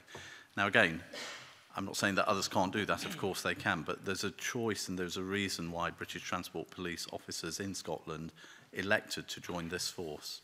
But going back to your point, the, the preservation of, of their rights and conditions and terms, it's complex, very complex, I, I would argue. Um, as, as Bernie said, it, it will need some big brains to work through it, but undoubtedly, I, I'm sure it could be done. If members have small follow-ups, I'll let, if they're very brief, that's Stuart Stevenson, Douglas, could you take them together, please? Uh, It's tiny. I just don't know the difference because I'm ignorant between Crown servants and employees. If it's possible to concisely explain it to me, if not, could you point at where I could go and read about it? Uh, indeed, it, it, and it's probably get it, worth getting some you know, formal uh, distinction between the two. But as employees, they have employment rights um, over redundancy and uh, resettlement, and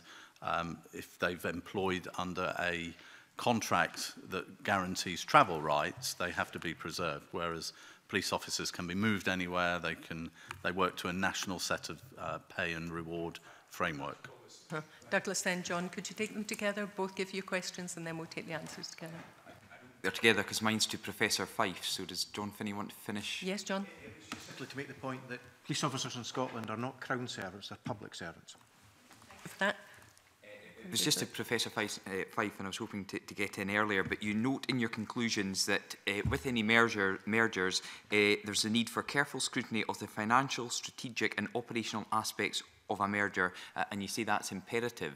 Based on what we've heard today, that the discussions with the SPA and Police Scotland were not about whether this was the right way forward, prior to the consultation, it was about how you'll do it after the consultation. And given the consultation is only about one option, do you think then that the Scottish Government have really carefully considered the scrutiny of the financial, strategic and operational aspects if they've gone about a consultation that already gives the answer before they uh, go out looking for further information? Um, I mean, I, I think as I sort of go on to say, I think that, that you know, the potentially there is a role for Audit Scotland and for HMITS to do further scrutiny around around this before the kind of process kind of proceeds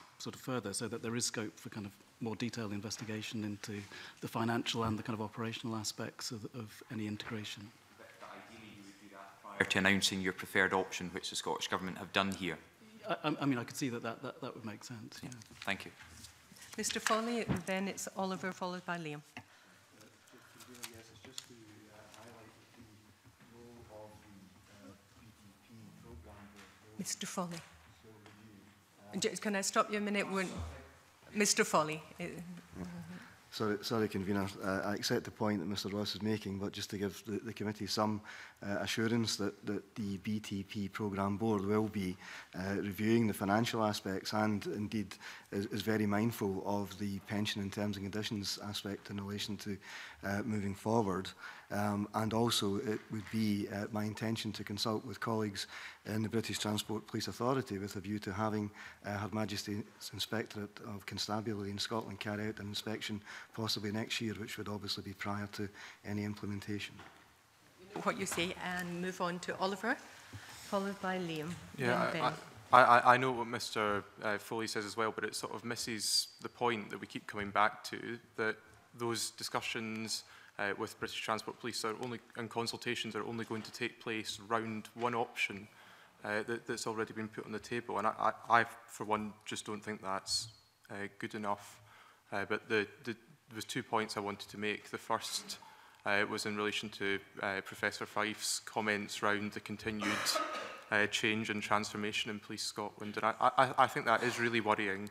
Um, and I think certainly in my constituency where we're seeing uh, a further eight police stations, or in my region where we're seeing a further uh, eight police stations identified for closure. We're seeing continued challenges around uh, rural policing, uh, where the, the new structures don't provide the level of service uh, and, uh, and the type of policing that the public have been used to uh, and expect. And I think there is a real danger that if we try and rush this decision, and that's what it feels like uh, to me, Uh, that, we, that, we, that we risk uh, not taking uh, the public and not taking uh, individual uh, police officers uh, within British Transport Police along that journey. Uh, and that, that means losing expertise, it means a continued uh, diminishing of, of, of trust uh, in, in what the single police force in Scotland's all about. And I think we need to really look at those issues.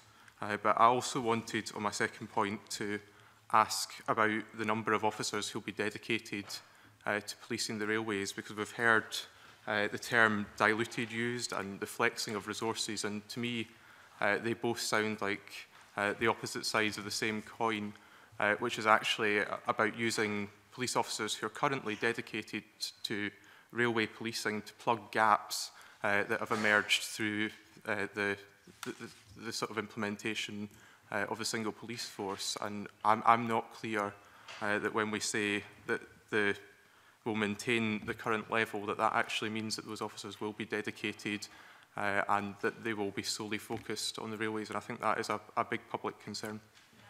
If to Mr Higgins to reply to that and Mr Crossan.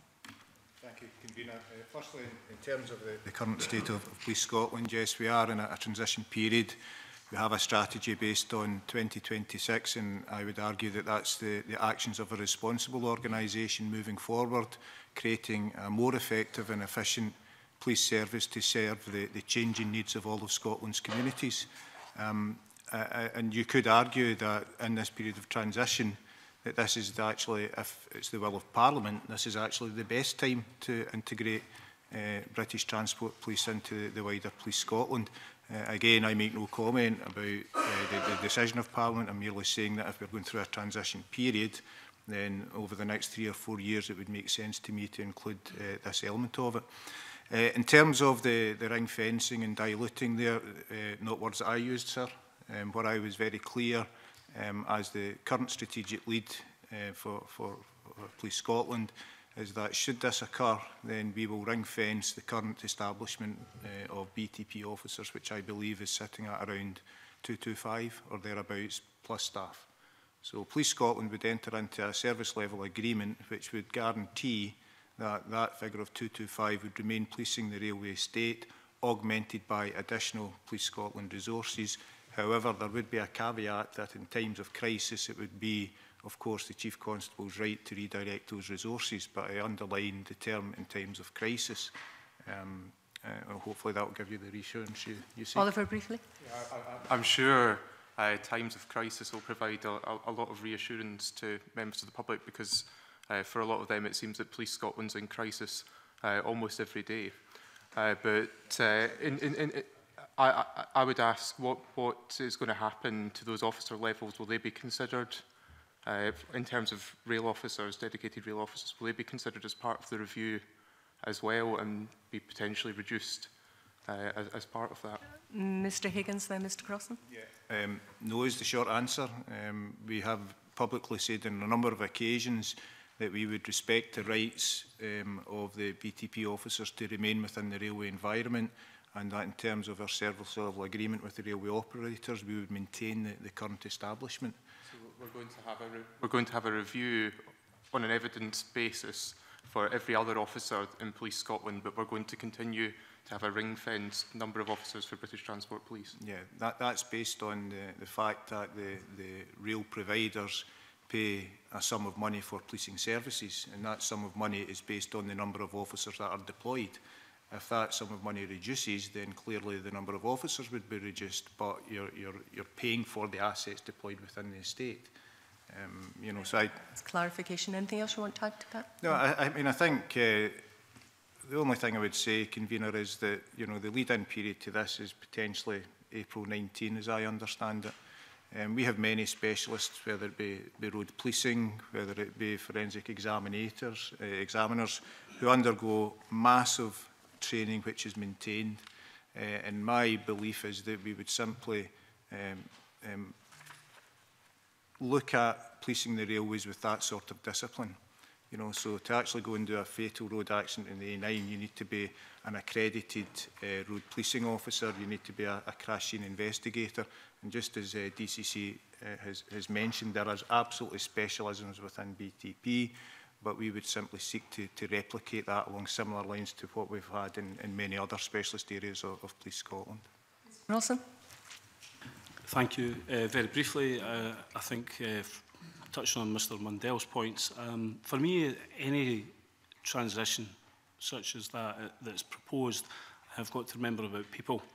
Um, our HR department um, obviously are still going through uh, dealing with three and a half years of change um, uh, we're in discussions with Mr Foley from SPA around about having confidence that um, as, as the change takes place, that we look after the people who are moving to make sure that they're supported, looking after their well-being, because we all know that um, change um, puts significant um, challenges to people Um, and then amongst that as well is also looking at the training aspect of it as people move across because uh, again I'll reiterate my point is there's an opportunity here for people within Police Scotland to benefit from the experience of uh, well-trained British Transport Police officers and similarly for some of their BTP colleagues to learn from um, the good activities within Police Scotland so that HR uh, strategy needs to be um, robust enough to look after people during the change.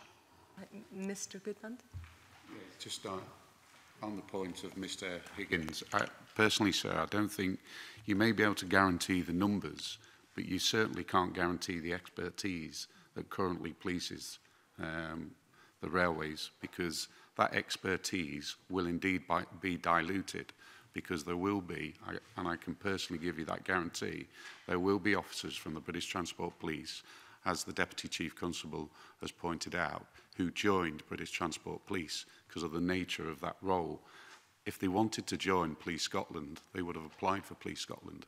So there's those officers that ultimately want to be and will remain or want to remain as officers in British Transport Police. So ultimately you will lose expertise. In addition to that, there are officers at a certain level of service who will, due to the nature of the uncertainty, leave the organisation. And some of those individuals are your middle manage management and senior management who provide the leadership in addition to the expertise. And that's something I personally don't think that you can guarantee that you will replace immediately. Long term, I accept, but immediately there will be a, um, a time frame where that expertise will be diluted. Um, Mr Townsend, then Mr Hanscock, and after that, in terms of members, Liam and Ben.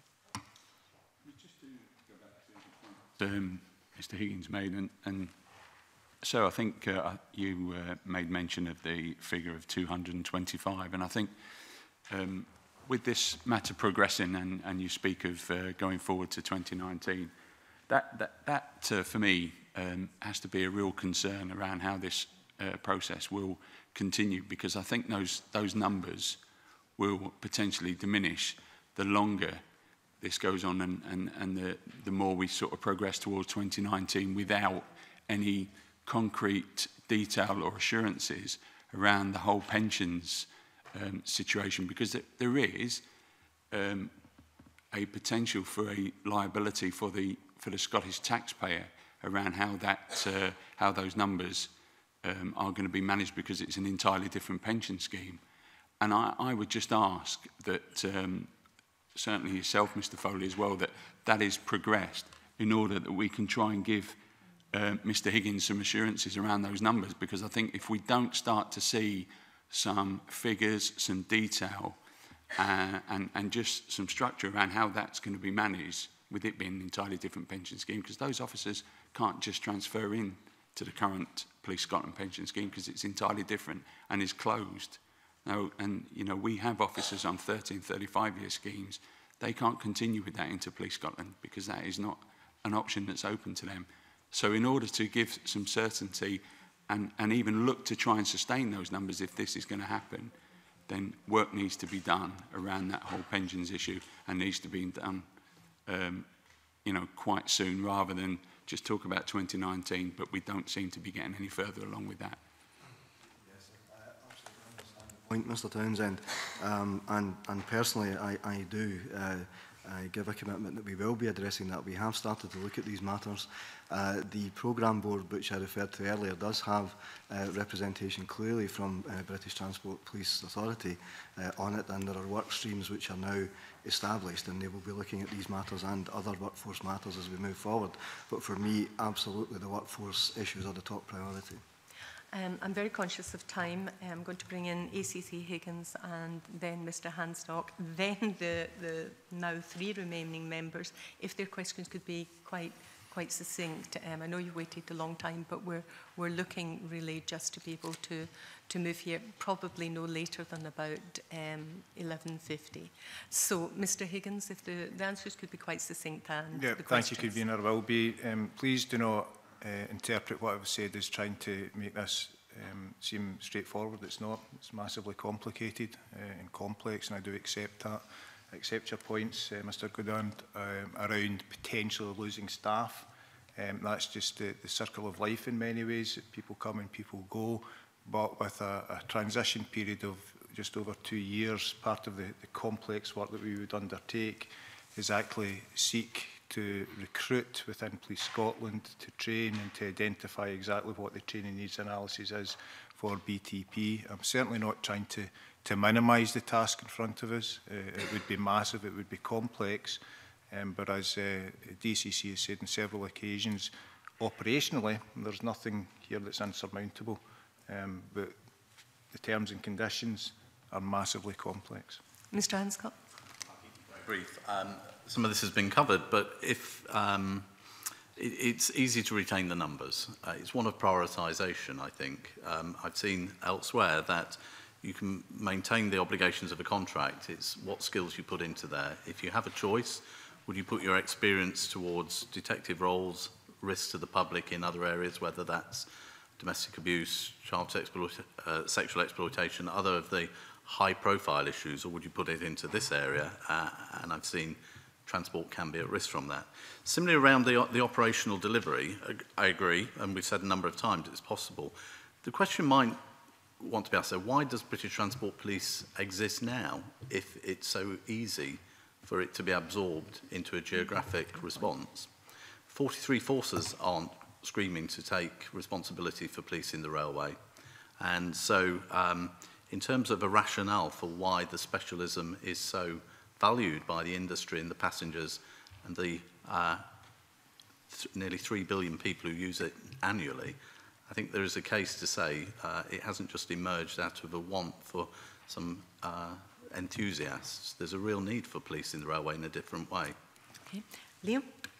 Uh, thanks very much, uh, Convener. I mean, it's following on some of the exchanges, I think, on the back of Oliver Mundell's, Oliver Mundell's uh, questions. I mean, we've focus very much on, on the impact of BTP and the, the complexities about um, what the government's proposing to do uh, under this legislation. But it, it strikes me, and it's been mentioned many times, that the, the state that Police Scotland is in, um, in terms of its own uh, progression. And I just uh, wonder what the uh, response is going to be within Police Scotland to the concessions that are given in order to address the concerns that are quite rightly and right, um, I think legitimately raised um, by those representing BTP uh, on behalf of, of their members. The more that's conceded, whether it's in terms of pensions, whether it's in terms of terms and conditions, whether it's in terms of ring, ring fencing numbers, against the backdrop of an ongoing review where all of that is off the table for Police Scotland and that what you end up doing is folding BTP officers into an organisation where right from the get-go there is a degree of, of um,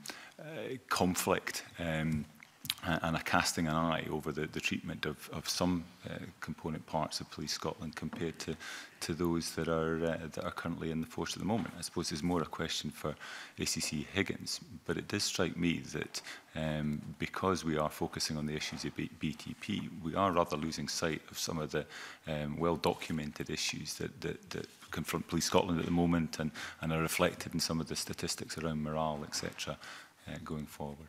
ACC Higgins? Vayner, I think the, the important distinction to make is that Police Scotland would be paid by the, the, the rail providers for a service. Uh, it would be a contract between ourselves and the, the, the rail provider, so we would be legally and lawfully obliged to maintain those officer numbers. Um, in terms of the, the pay and conditions, um, absolutely, Mr MacArthur, it's a, a really valid point. However, When Police Scotland was formed on the 1st of April 2013, we brought together eight legacy forces and two other organisations. Uh, the terms of conditions um, there applied uh, still have not been resolved, so we have a number of officers who retain legacy terms of conditions um, which are not applied to other officers doing the exact same job. So, for example, dog handlers, dependent on what part of the, the country you are, depends on what uh, uh, allowance you receive based on your legacy arrangements. And to change that, we would need to go to, to PNB um, to, to do so. So for the, the life of Police Scotland thus far, we, we do have that unusual situation where we have officers across the country who have slightly different pay conditions based on what their, their legacy force arrangements were. Um, so there is a, a, a comparison with what would happen with BTP officers transferring in.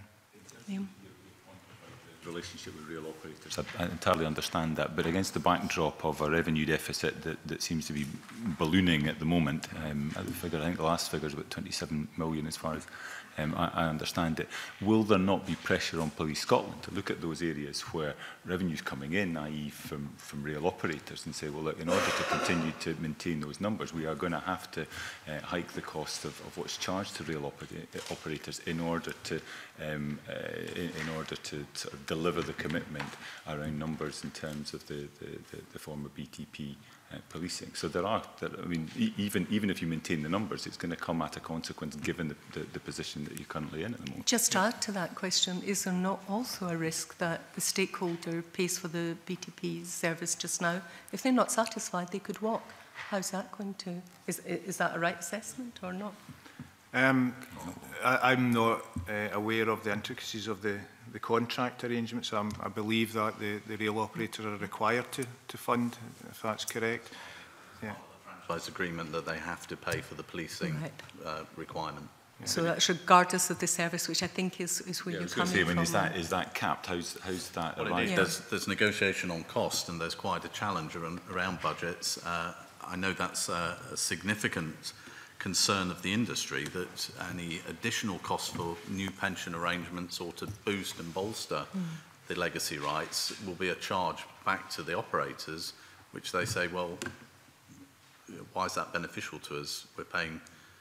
even more for what we've currently got, arguably with a worse level of service. That's the shorthand of it. And so. do they have any options then in that case, or do they just have to accept and um, the hikes? Charges regardless? can be defrayed to them, but uh, you know, again, it's it's not without challenge. Um, it's it's quite a complex set of, uh, financial arrangements to do that. Okay, Ben and Fulton. Thank you, convener. Good morning, everyone. Thanks for contribution so far. Just two, two quick questions. Uh, first of all, to ACC Higgins. I just wondered if you could elaborate further on your response to Douglas Ross earlier around the operational benefits of a specialist railway policing service with direct access to local specialist and national resources at Police Scotland. And secondly, um, with regard to Mr um, Townsend and Mr Foley, your exchange earlier around uh, pensions arrangements.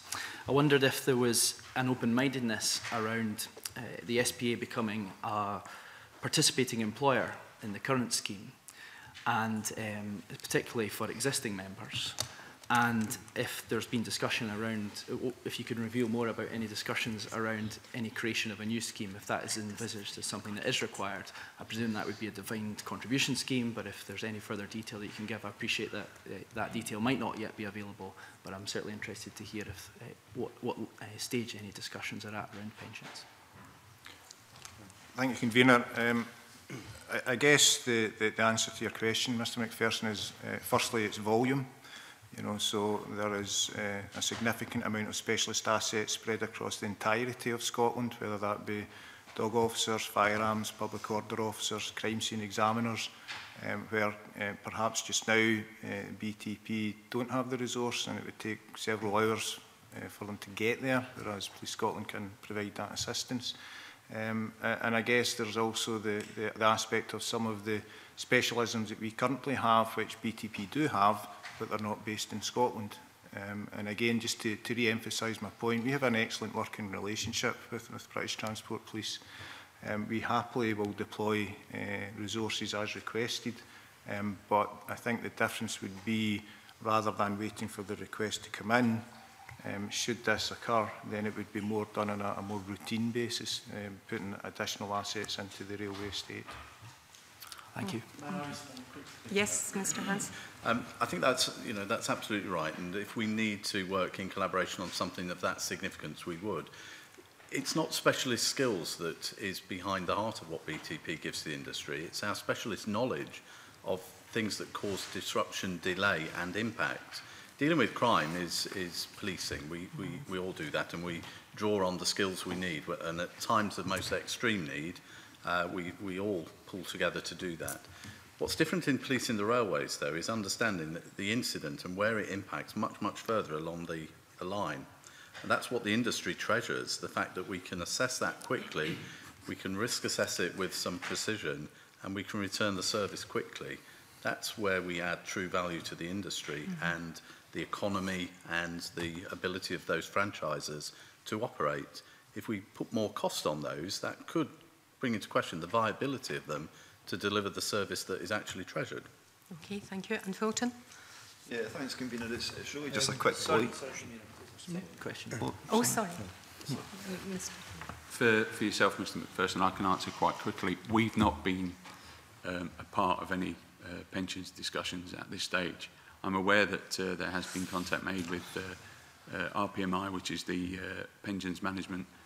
that uh, look after all the pensions for the BTP officers.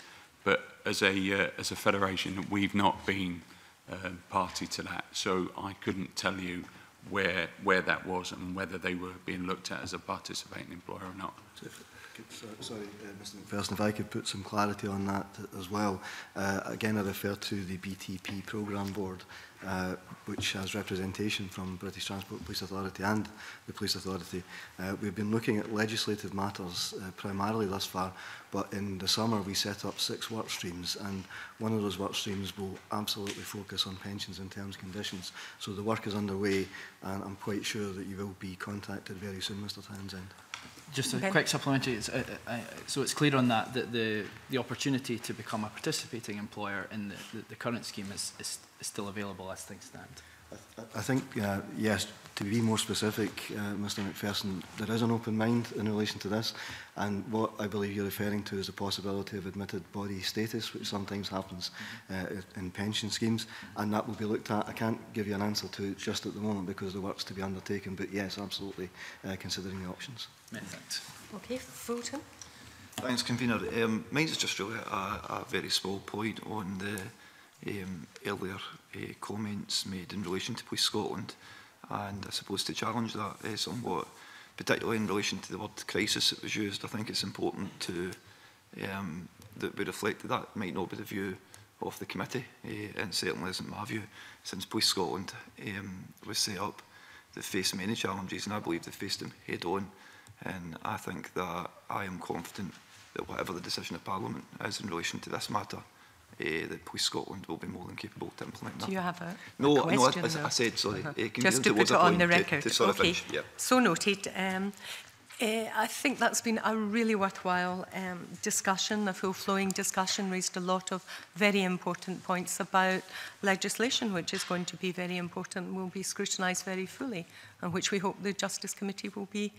scrutinising.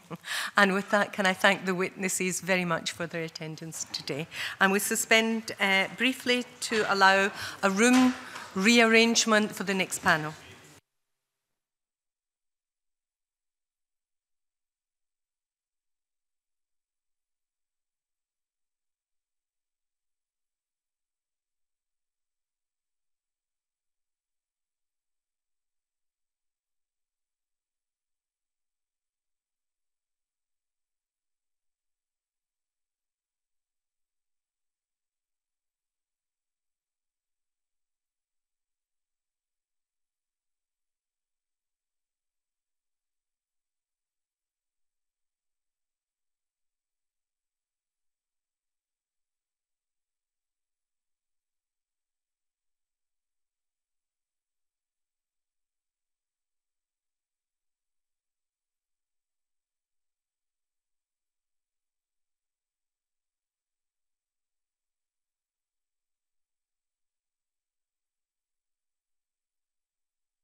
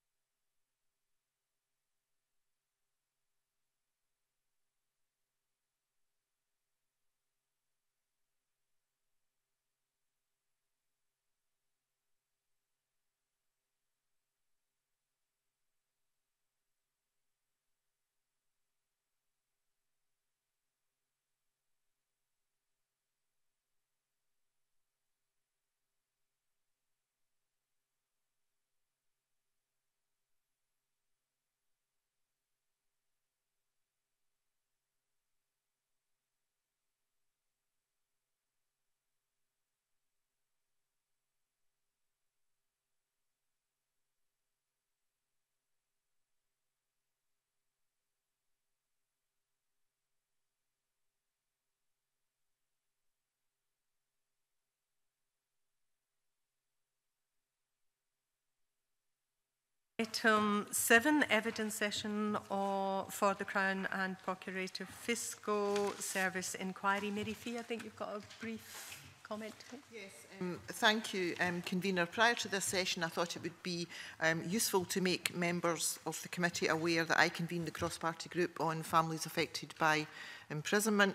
And as such, I work very closely with Nancy Laux and families outside. And while it is not a registrable interest, I thought it would be prudent to mention it prior to this session. Thank you, Mary. Um, it's my pleasure to welcome the witnesses to the committee's evidence session. This is our second week of taking evidence on the inquiry, and with us today is Liz Dow, Chief Executive of Circle, Stephen Farrell,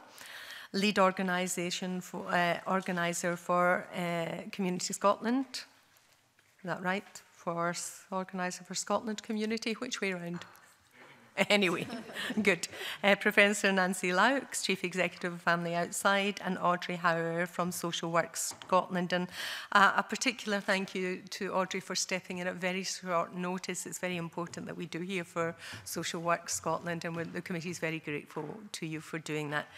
Without any further ado, can I open up this session to questions from members? Who's going to be first? Oh, this is unusual. We aren't all... Oh, Douglas, go for it. Thank you. Could I first of all, uh, and thank you all for your uh, submissions, could I ask Liz Dahl about the uh, comment you made about as an organisation you've developed a specific service to promote greater use of restriction of li liberty orders against women who face custodial sentences. Could you tell us a little bit more about that? Yeah, it's a, a new service that we've um, got in Lanarkshire, and um, so so it can be working. It can be working with. with our intention is to go to court with the women so that they, they get a non-custodial sentence rather than a custodial sentence. And um, it's working very effectively to date. Sorry, could you explain how it works? How you So, are you um, speaking on their behalf or? I, mean, we provide a family support service, so um, the the women could be um, um, referred to as through the um, you know the community payback order system. And so it's for women who are not, are not managing their community sentence and we provide a service with, with the whole family to help them manage their community service to stop them having a custo custodial sentence.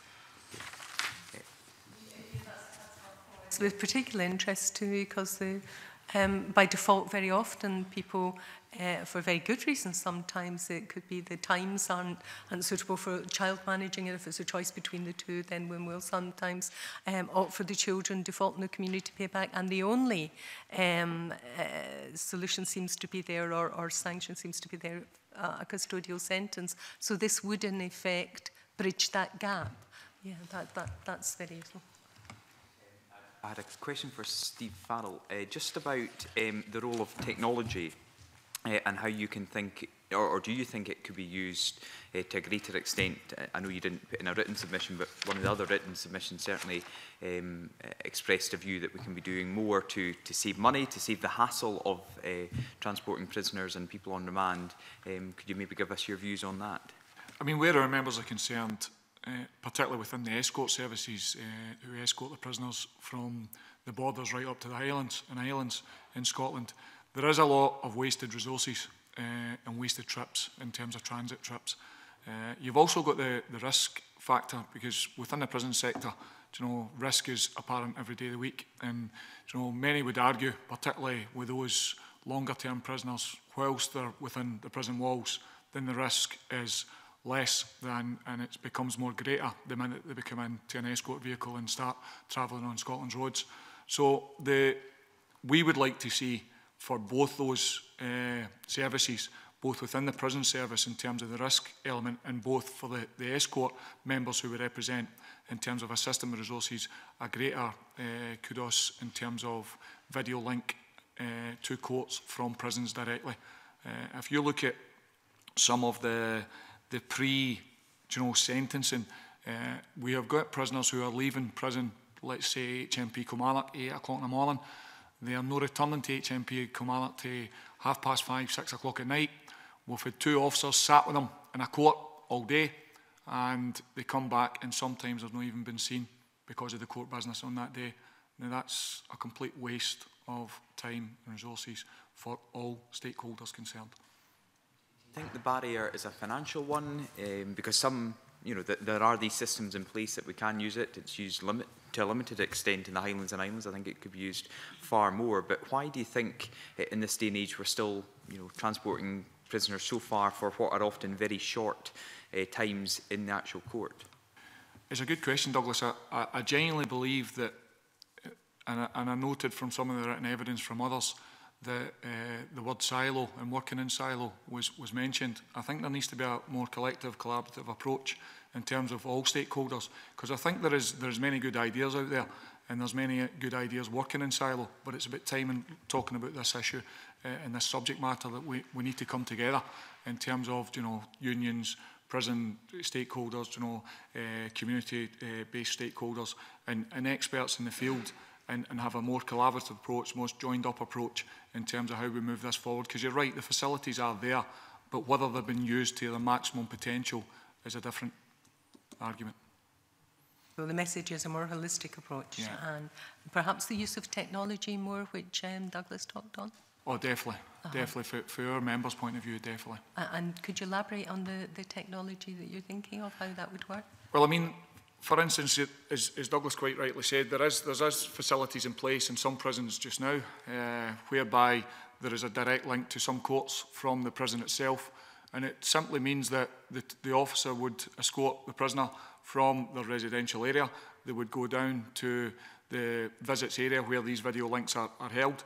And effectively, they would, have, they, they would be there in court, and, and known person, obviously, uh, from the prison itself. And that would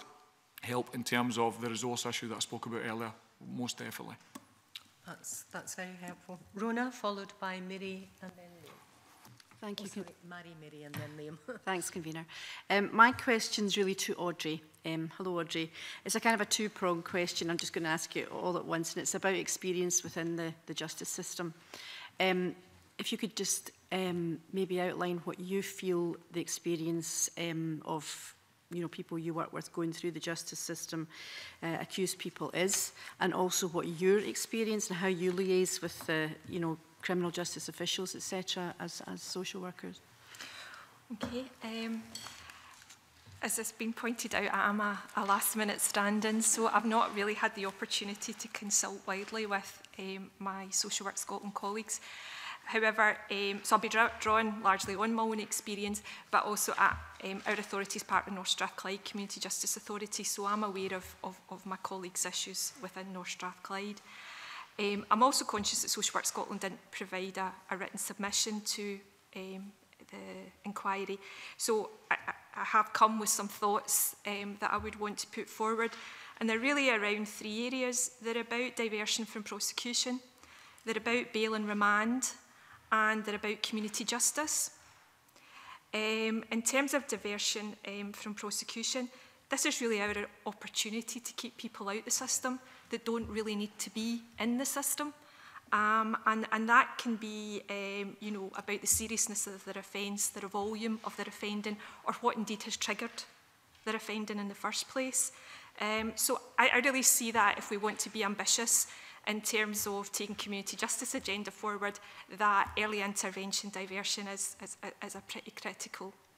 kind of feature of that. Um, however, the use of diversion really varies across the country um, and certainly within my own local authority has been in steady decline over decades.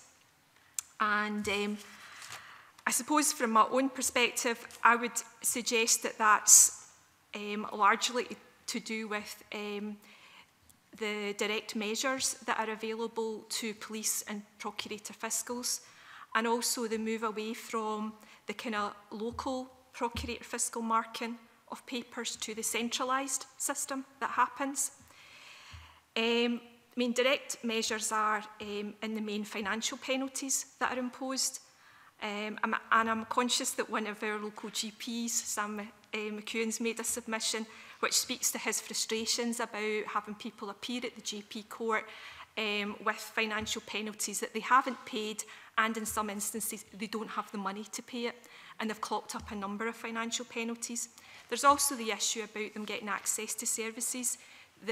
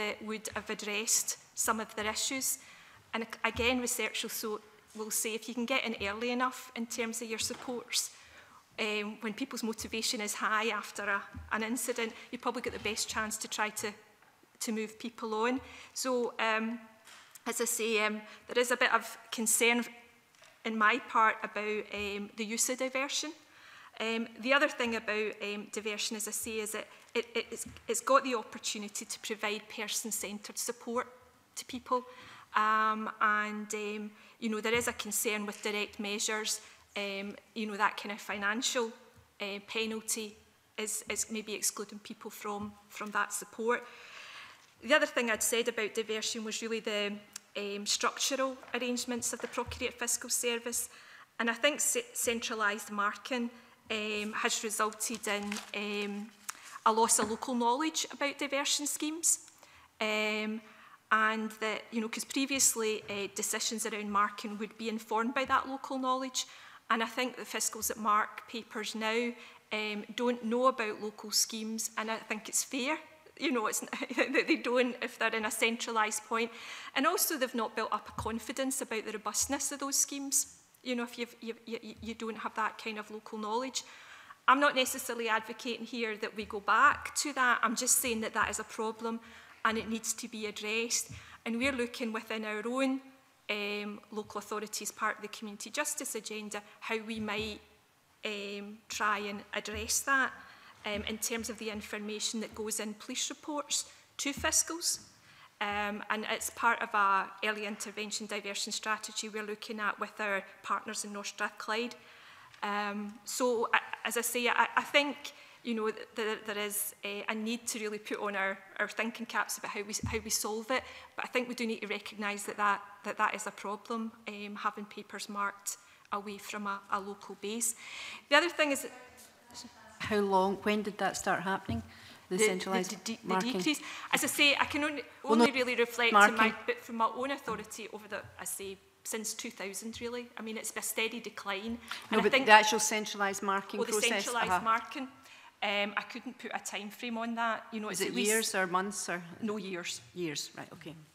Thank you. Um, the other thing is about bail um, and remand, and it probably taps into the um, G4S comments as well about people going across the country. And I suppose, I mean, you will be aware about the impact of remand in terms of how um, that can disrupt people's access to treatment,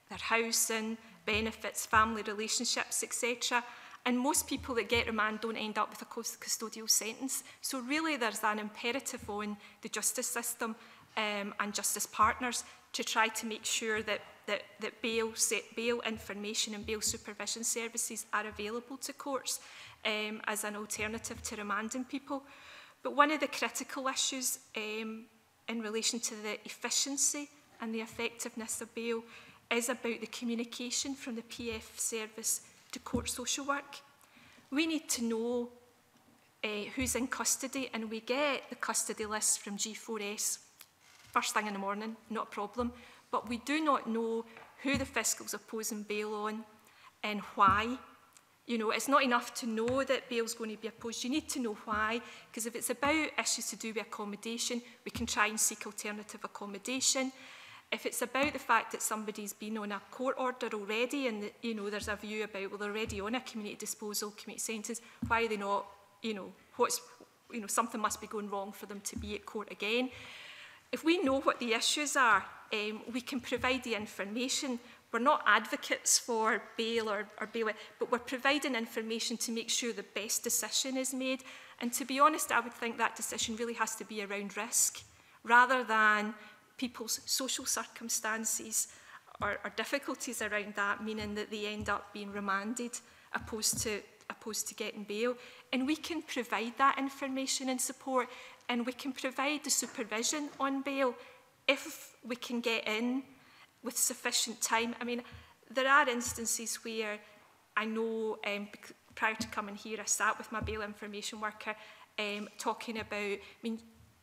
The custody court should be heard at 12. We can be sitting at 5 to 12. We still don't know who's, who's going to be, um, you know, who they're going to oppose bail and the circumstances.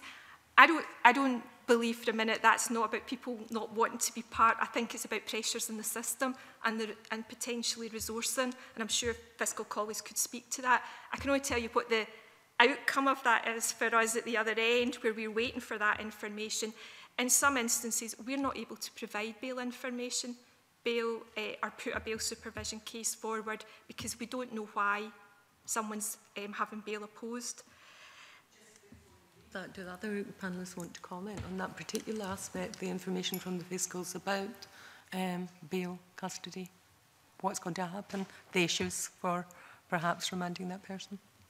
or looking at it? I think the main issues are the length of time it takes from arrest to prosecution, communication, and the lack of use of te technology. I mean, I, I have an experience just last year of going myself as a witness on, on a child assault. I was called to court three times, so I spent three days, well, three half days in court. The first two um, we were sent home after lunch. And so that was myself, another manager from the, the next door organisation, and two police officers. All that time wasted and all that cost. Whereas if, we, if we'd been sent an email saying it's not going to go ahead today,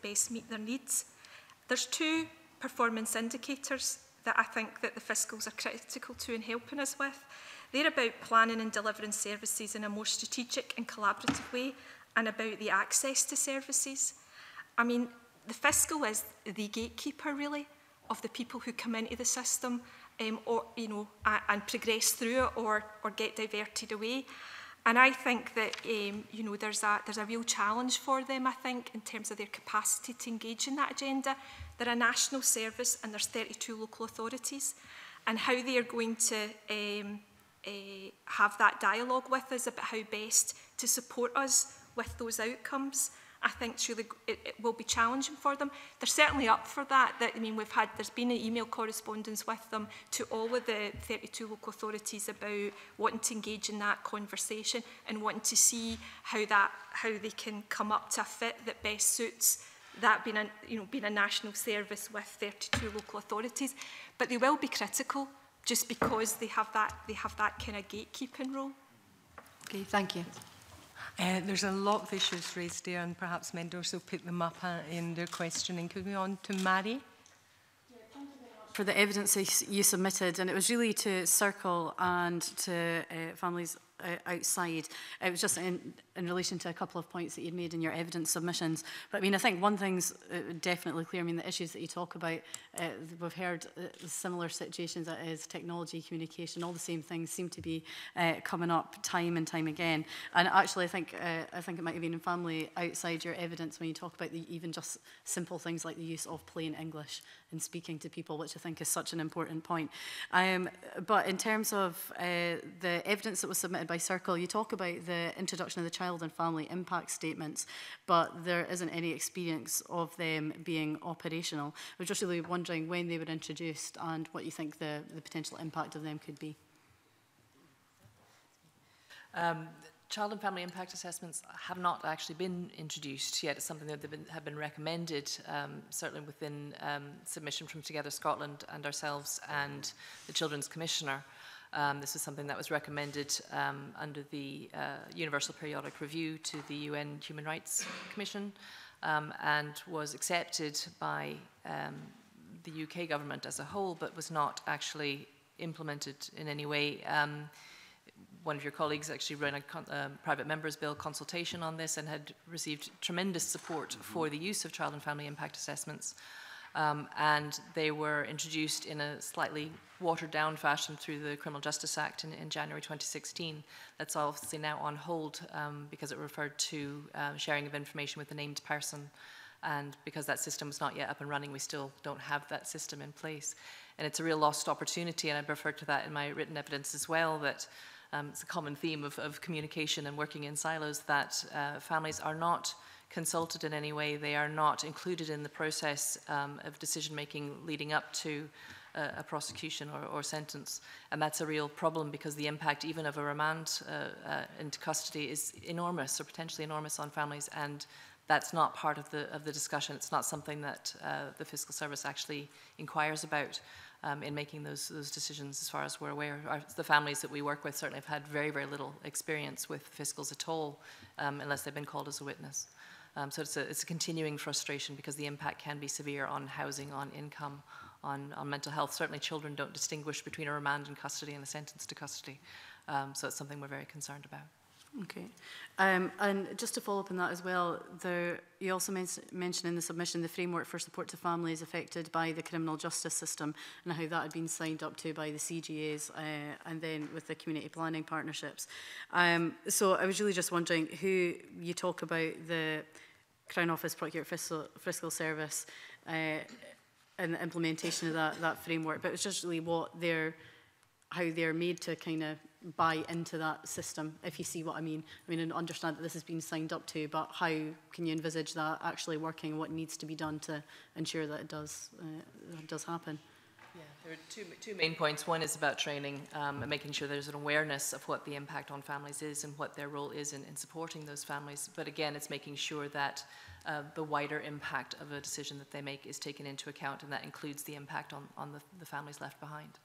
Okay.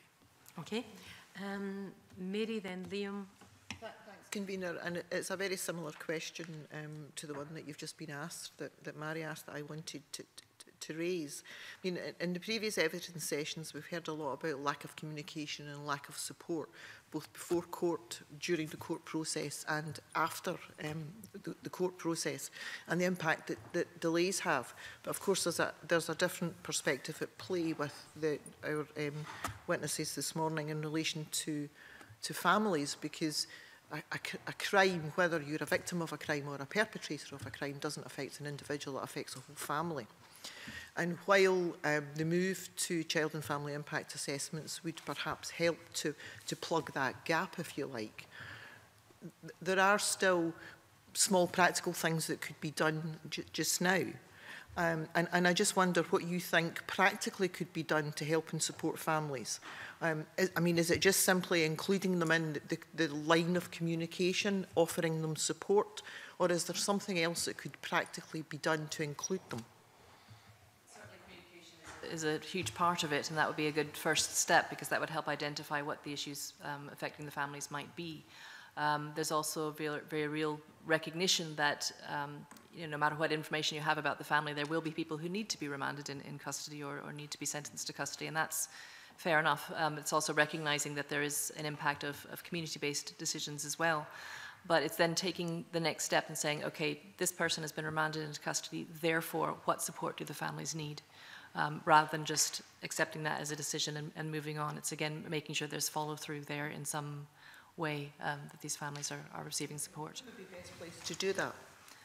That is a very good question. um, whether that's something that's referred to to social work, or whether that's something that the, the fiscals have a, a, role in themselves, whether there's um, even just flagging up that there is support in the communities available from organisations such as ourselves, mm. such as Circle, um, you know, there is, is scope for support out there. It's just recognizing that the families often don't have that information, even about what support is available, let alone any receipt of support. And I suppose we also have to be realistic and recognize that children and family social work teams, um, the tariff wouldn't be high enough for their involvement, so it would be down to organizations like ourselves that are there to provide family support services. Okay, thank you. Okay, uh, Liam followed by Fulton, then Ben. Thanks very much, Convener. I just take Audrey back to um, the, the reference she made earlier to evidence from Sam McEwen about the impact of direct measures. I mean, I, it's in the written um, evidence, but it, I think it might be helpful um, to have that in oral evidence as well. As I understand it, the, the cumulative impact of direct measures can often end up leaving an individual uh, in a position where they're unable to, to, to um, Uh, to make payment, um, whereas if they've been dealt with in a different way at the outset, um, perhaps in, in a way that was seen as uh, a little bit more burdensome, actually the, the, the measure would be more effective and more appropriate? I think it, it, it depends. It depends on the individual. You know,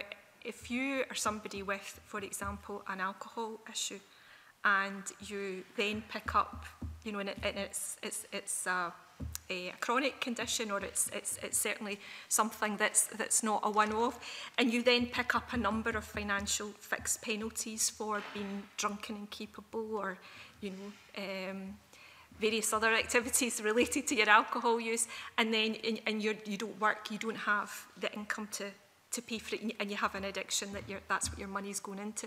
Direct measures doesn't do anything, doesn't come anywhere near that.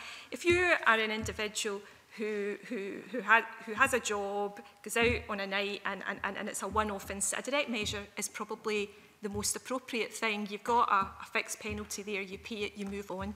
You, you know, they're, they're not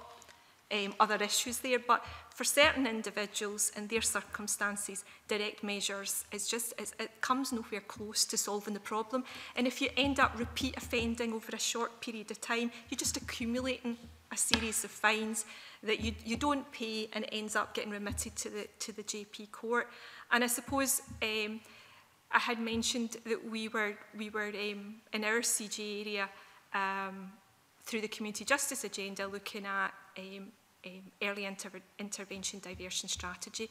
And we are, because eh, I think we do have to help our fiscal colleagues here because I don't think, I think it, I think it is a structural issue rather than anything else.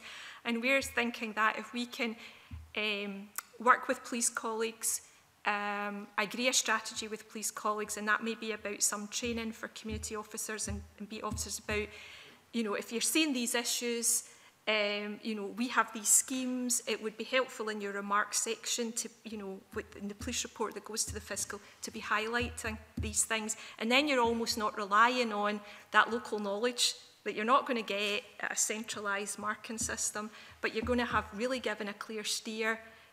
um, you know, from the, the local police where um, where you think this case needs to go. It is the decision of the fiscal, but the fiscal then has, has, has information to make that. And uh, I think that's one way of, of, of resolving it. But I have met Sam and, um, you know, um, to talk about community payback orders, etc. And I know his frustration just about the number of people in front of his court and the, you know they have they have you know as a result maybe of issues to do with their addiction maybe have benefit sanctions because of they've not turned up for um, their, uh, their appointments because really the issue that needs to be addressed is their, their al or it could be their mental health that you know it, it's people with um, chaotic or vulnerable individuals direct measures is, is, is And I think also the recognition that the vast majority of people caught up within our community justice system are living in poverty, do have mental health problems, do have addiction problems. And we're not talking about the minority, we're talking about the majority. That's helpful. If I could take you on to the issue of, of um, diversion from prosecution, I think what we heard in um, previous evidence from the bar associations for, in particular was um, a, a kind of rigidity in the system where um, as soon as any case had a particular element to it, um, the, the, the option for any discretion to take on board specific circumstances of that case um, were, were immediately limited and, and individuals undertaking that decision perhaps didn't necessarily have the confidence or experience to, ex to, to explore the, the, the raft of options available, um, including um, diversions away from prosecution. Is that something that, that mirrors your experience of, of how the system's working at the moment? And, and if so, are there ways you would envisage being able to, to perhaps improve that situation?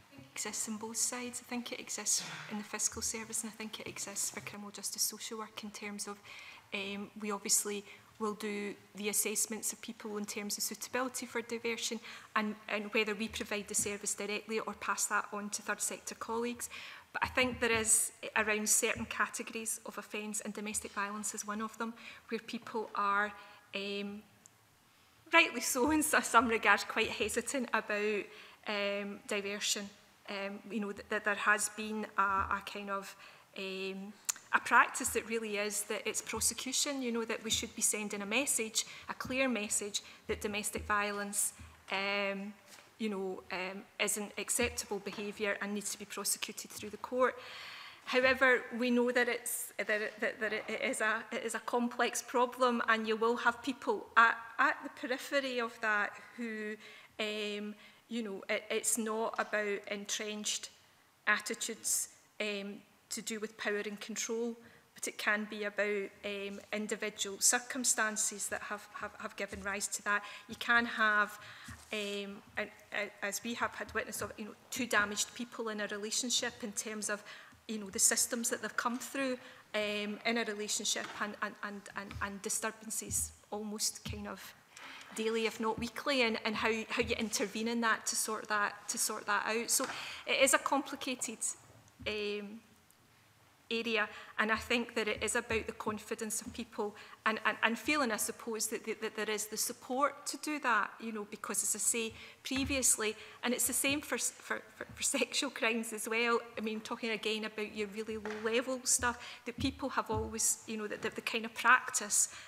and I understand what has driven that practice has been about prosecution. You know, the default position has been about, has, has been about prosecution. But we all know that when you have those black and white kind of situations, there are people, you know, at the edges there who this, it really isn't appropriate to have them dragged through the court system.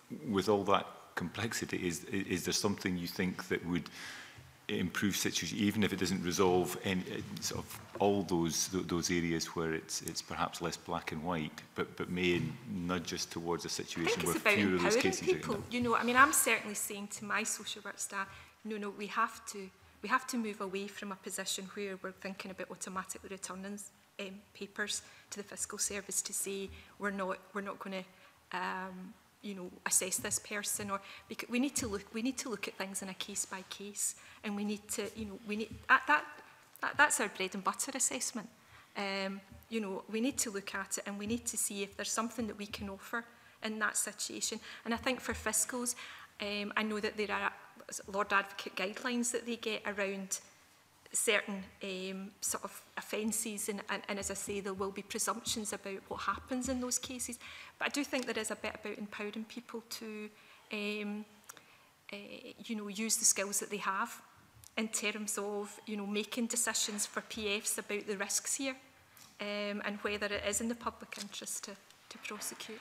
Okay. Thank you. Thank you. Uh, Fulton then Ben. Um, my, my point's actually following up from the um, the exchange here between Audrey and, and, and Liam, which I, yeah, I thought was uh, very useful. Um, regarding it, because the domestic violence agenda is um, very big at the moment, um, as you'll be aware, and um, obviously the government's committed to really tackling this issue, and you'll have seen that with uh, recent legislation. So, with that in mind, um, what and, and it, is, it is following up some of the points you've been discussing here, but more specifically to do with programmes. Um, what programmes do you think can be offered for um, offenders um, who have committed domestic violence um, acts? And what stage, different stages do you think they can be brought in, including how, how, how it could be done at a diversion level? And again, sorry, Audrey, I know you're kind of last minute, but it's probably mostly directed at yourself. Um, Again, I can only speak from my experience in Inverclyde. Well, actually for North Strathclyde CJ, we don't have the Caledonian programme, which is a government-funded programme for um, perpetrators of domestic violence, male perpetrators of domestic violence. I, I, and I understand it's currently being um, evaluated, um, and I don't know what the intention will be from that, whether there'll be a rollout.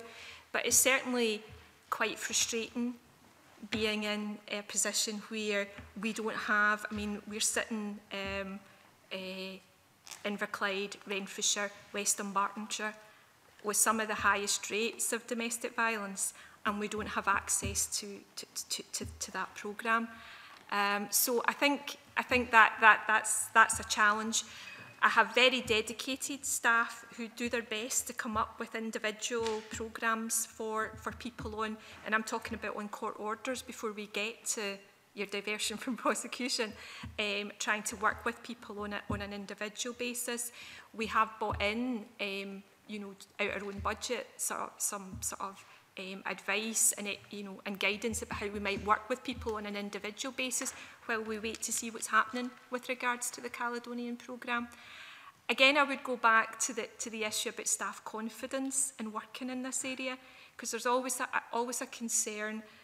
that you might make a situation worse rather than better, because you start to, to, to sort of explore with somebody what, what the challenges are um, for them, in relation to their behaviour.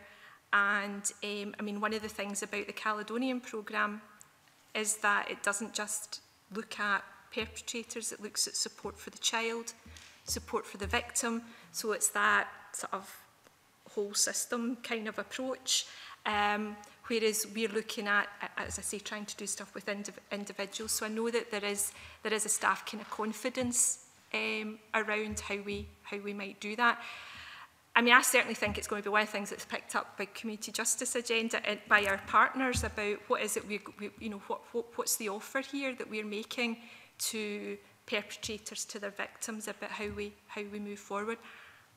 I'm sorry, I don't have a, a better answer than that well, for you. No, I think that was, um, you know, that, that, that was the sort of answer I, I would have expected, and I think that, that it covered a, a wide range of stuff. I, I should um, declare, as, as Mary Fee had done earlier, um, my register of interest as well, I was a social worker.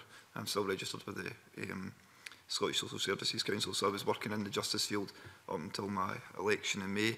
And, and I'd noticed a, a, an increasing trend towards um, community-based disposals for domestic uh, violence, and, that, and that's increasing, increasing. And caseloads are becoming more and more, um, you know, weighted uh, towards that. So it does strike me that um, different levels of programmes would be uh, you know, a good way forward. And not just for people on community payback orders where there's a Caledonian programme and its predecessor, the change programme, still being used in uh, South Lanarkshire and, and, and such like. So I think that perhaps the um, if there was a if there was a way we could look at a smaller programme, um, perhaps in line with the, the, the tagging restriction of liberty orders, and I don't I wondered what the panel thought about that, um, and maybe um, Liz or somebody else. Training program, you actually have to be prosecuted in order to go yes. on it, and you'd want to uh, be avoiding that. Yeah, that's that, that's exactly my point. I, I mean, wonder whether whether there's there's. I mean, a one of one of the best programs that we use with families. I don't.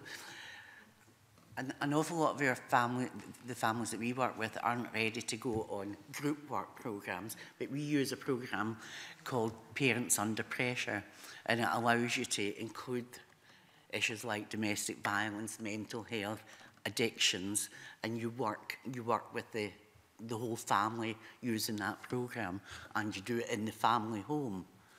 And so, I mean, Parents Under Pressure is one of the best programs that I've found that allows you to work with the individual family to address all the issues that impact upon that family um, voting, the Crown Office's role, are you looking rather than automatically going to, to court yes, to, I, to be aware of these referrals that or this kind of programme that could... I, I, what, what was actually, I probably uh, didn't articulate the, the question as well as I, I would have liked it. What, what I was actually looking for the panel's viewers, if they thought that something like the change programme, the Caledonian programme, could be done on a smaller basis, um, you know, for a short period of time, because these are 13, 16 week programs, and they, they usually have to have an order in place.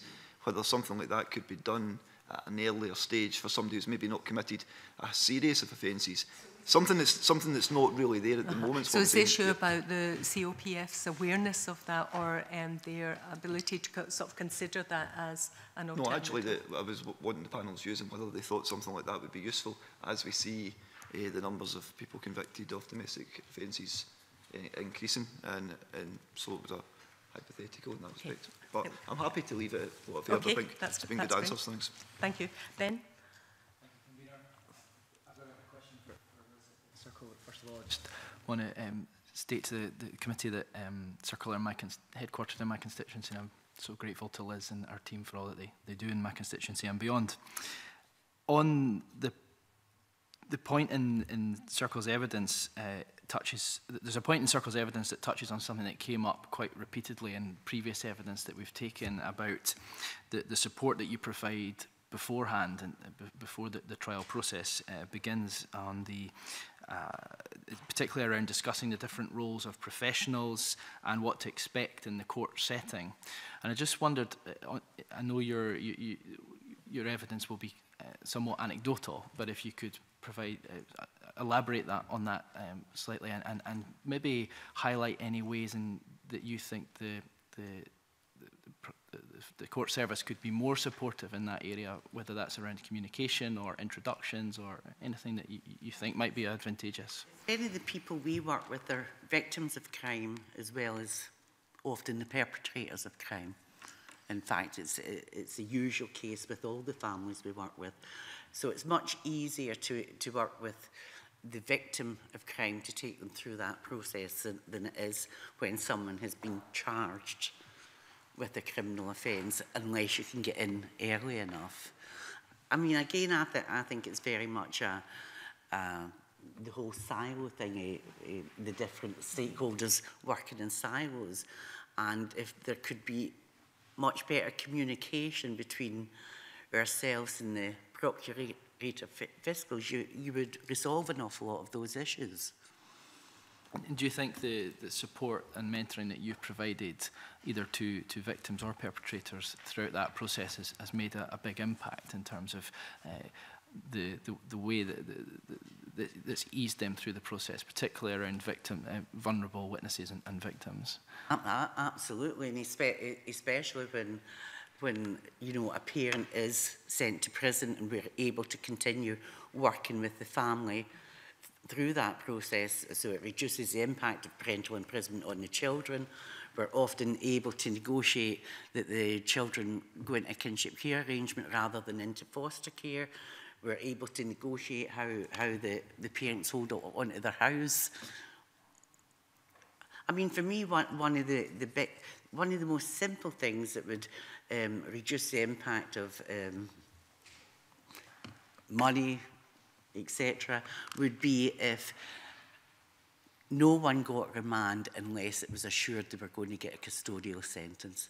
That would be such a reduction in cost to society as a whole, to the families that we work with, because, I mean, it's just unbelievable especially for women, the, the way the whole Roman thing has, has gone up and the huge impact that that has on.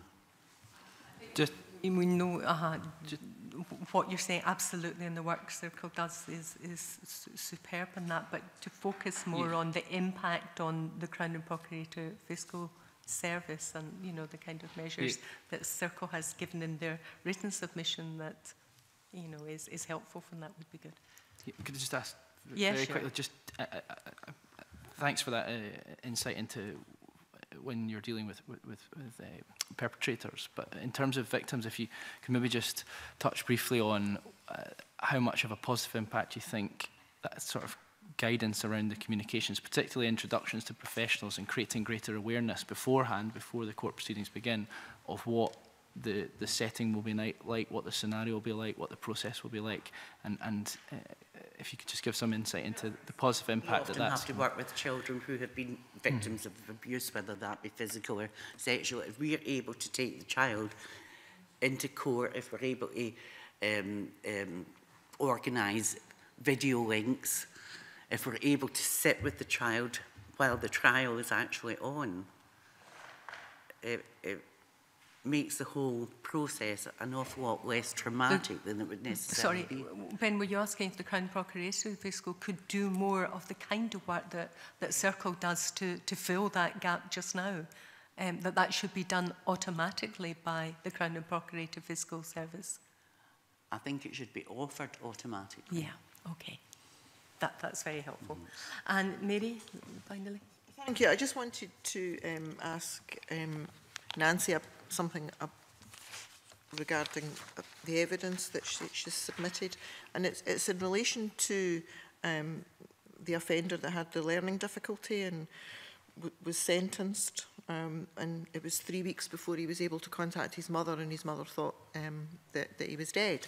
And I, I just wanted to be absolutely clear. If someone is sentenced, whether it's remand or a custodial sentence, is there no contact at all with the family to say, this person has been sentenced for whatever, for whatever reason.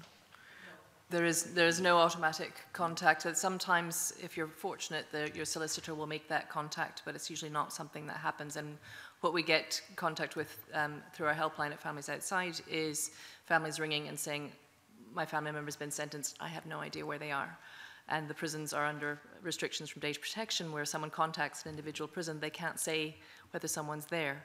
Um, so it is a real problem. There are no um, questions asked automatically, which is hopefully what the Criminal Justice Act will will help with. There are no questions asked automatically under um, about um, family members or, um, or, or who to contact or whether to contact someone. There is a new requirement under the UN um, minimum standards for prisons, the Nelson Mandela rules, which was agreed in 2015, um, Rule 7, in fact, um, in relation that we must gather information about um, family members of, of people going into custody, and at the moment we're not doing that.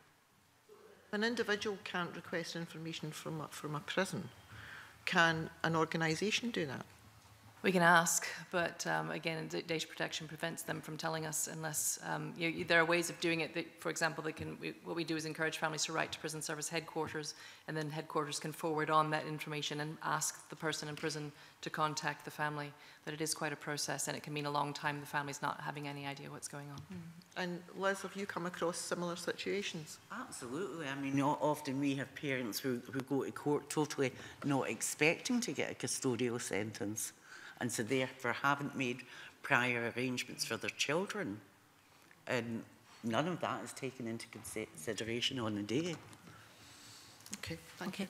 Just to finish off, there's, there's themes coming through this which are very helpful for our inquiry. There's central marking of papers, the lack of local knowledge sometimes, and um, local knowledge not knowing about the diversions or um, possible referrals that could be made to stop people defaulting on perhaps fixed penalty fines and um, then ending up in court uh, with a measure that really doesn't address the reoffending. There's communication issues, but just to finish off, um, I'm going to start with um, Stephen, Steve Farrell. Are there any other measures you can suggest that would um, that you can think of, and you may not have any, that would reduce delays in court? Might be practical measures. Steve. Uh, uh, it's been an interesting debate, Margaret, and can I say, firstly, can I, can I break into two parts? As a, as a former serving prison officer, uh, you know, this country, we, we're fantastic at dealing with retrospective rehabilitation. And we need to, we need to, I would ask you to part that. Retrospectively, prison officers are asked when convictions and, and, and people come into prison. Now, I was born and raised in the famous scheme that was on the TV. And I'll, without naming names, one of the persons in that scheme I would probably think has been in prison in the last 10 years and probably over 30 times. Easy. Now, you've got to then ask, is there any real merit to a conviction? Because it's the same old, same old, same old. And the chance of rehabilitation, and I've got to tell you as a prison officer, to purposeful, meaningful rehabilitation is very, very difficult because, quite frankly, it's too late. When some of these people are getting to their mid 20s and are still committing the same crime after crime after crime, particularly short term prisoners, then the ability for retrospective rehabilitation is almost impossible. I've got to tell you that. In terms of prevention and in terms of earlier prevention, one of the things, and I met with the Minister two weeks ago, and he was asking uh, round about the trade union's view on tagging and monitoring in terms of because we are the only trade union that represent mem uh, members in this country with the, the existing tagging and monitoring.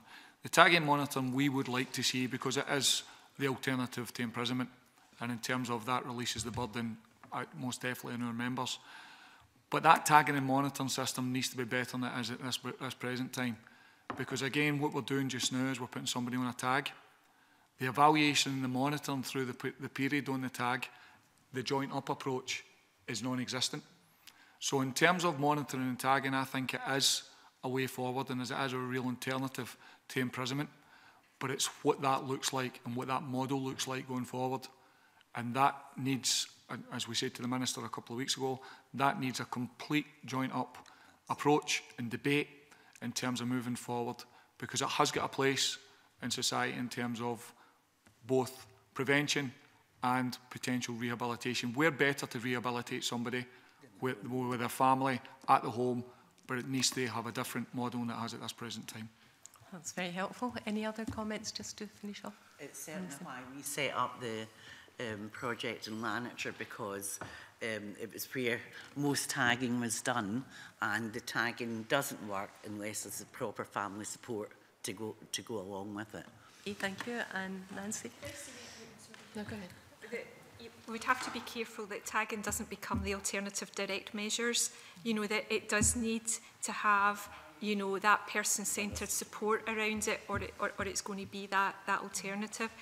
The, the other thing I would, I would just say, being a half glass half full person is about trying to resource or, or support the Procurator Fiscal Service be part of the community justice agenda because I think if we can help them to be full partners in that agenda, I mean the aim there is to look at every stage of somebody's journey and to, to look at what services what services are doing and what the gaps are and what people are saying about their experiences, the lived experiences and how we can improve that.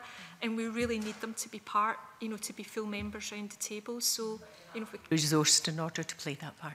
Yeah. And finally. Yeah, just to, to summarize the, the, whole tone of the conversation, I think the communication is, is absolutely essential, giving staff the confidence, but that and through that they need the training to give them that confidence. Um, it's a willingness to consult beyond their own circle to uh, make decisions um, that have an impact on um, and other people.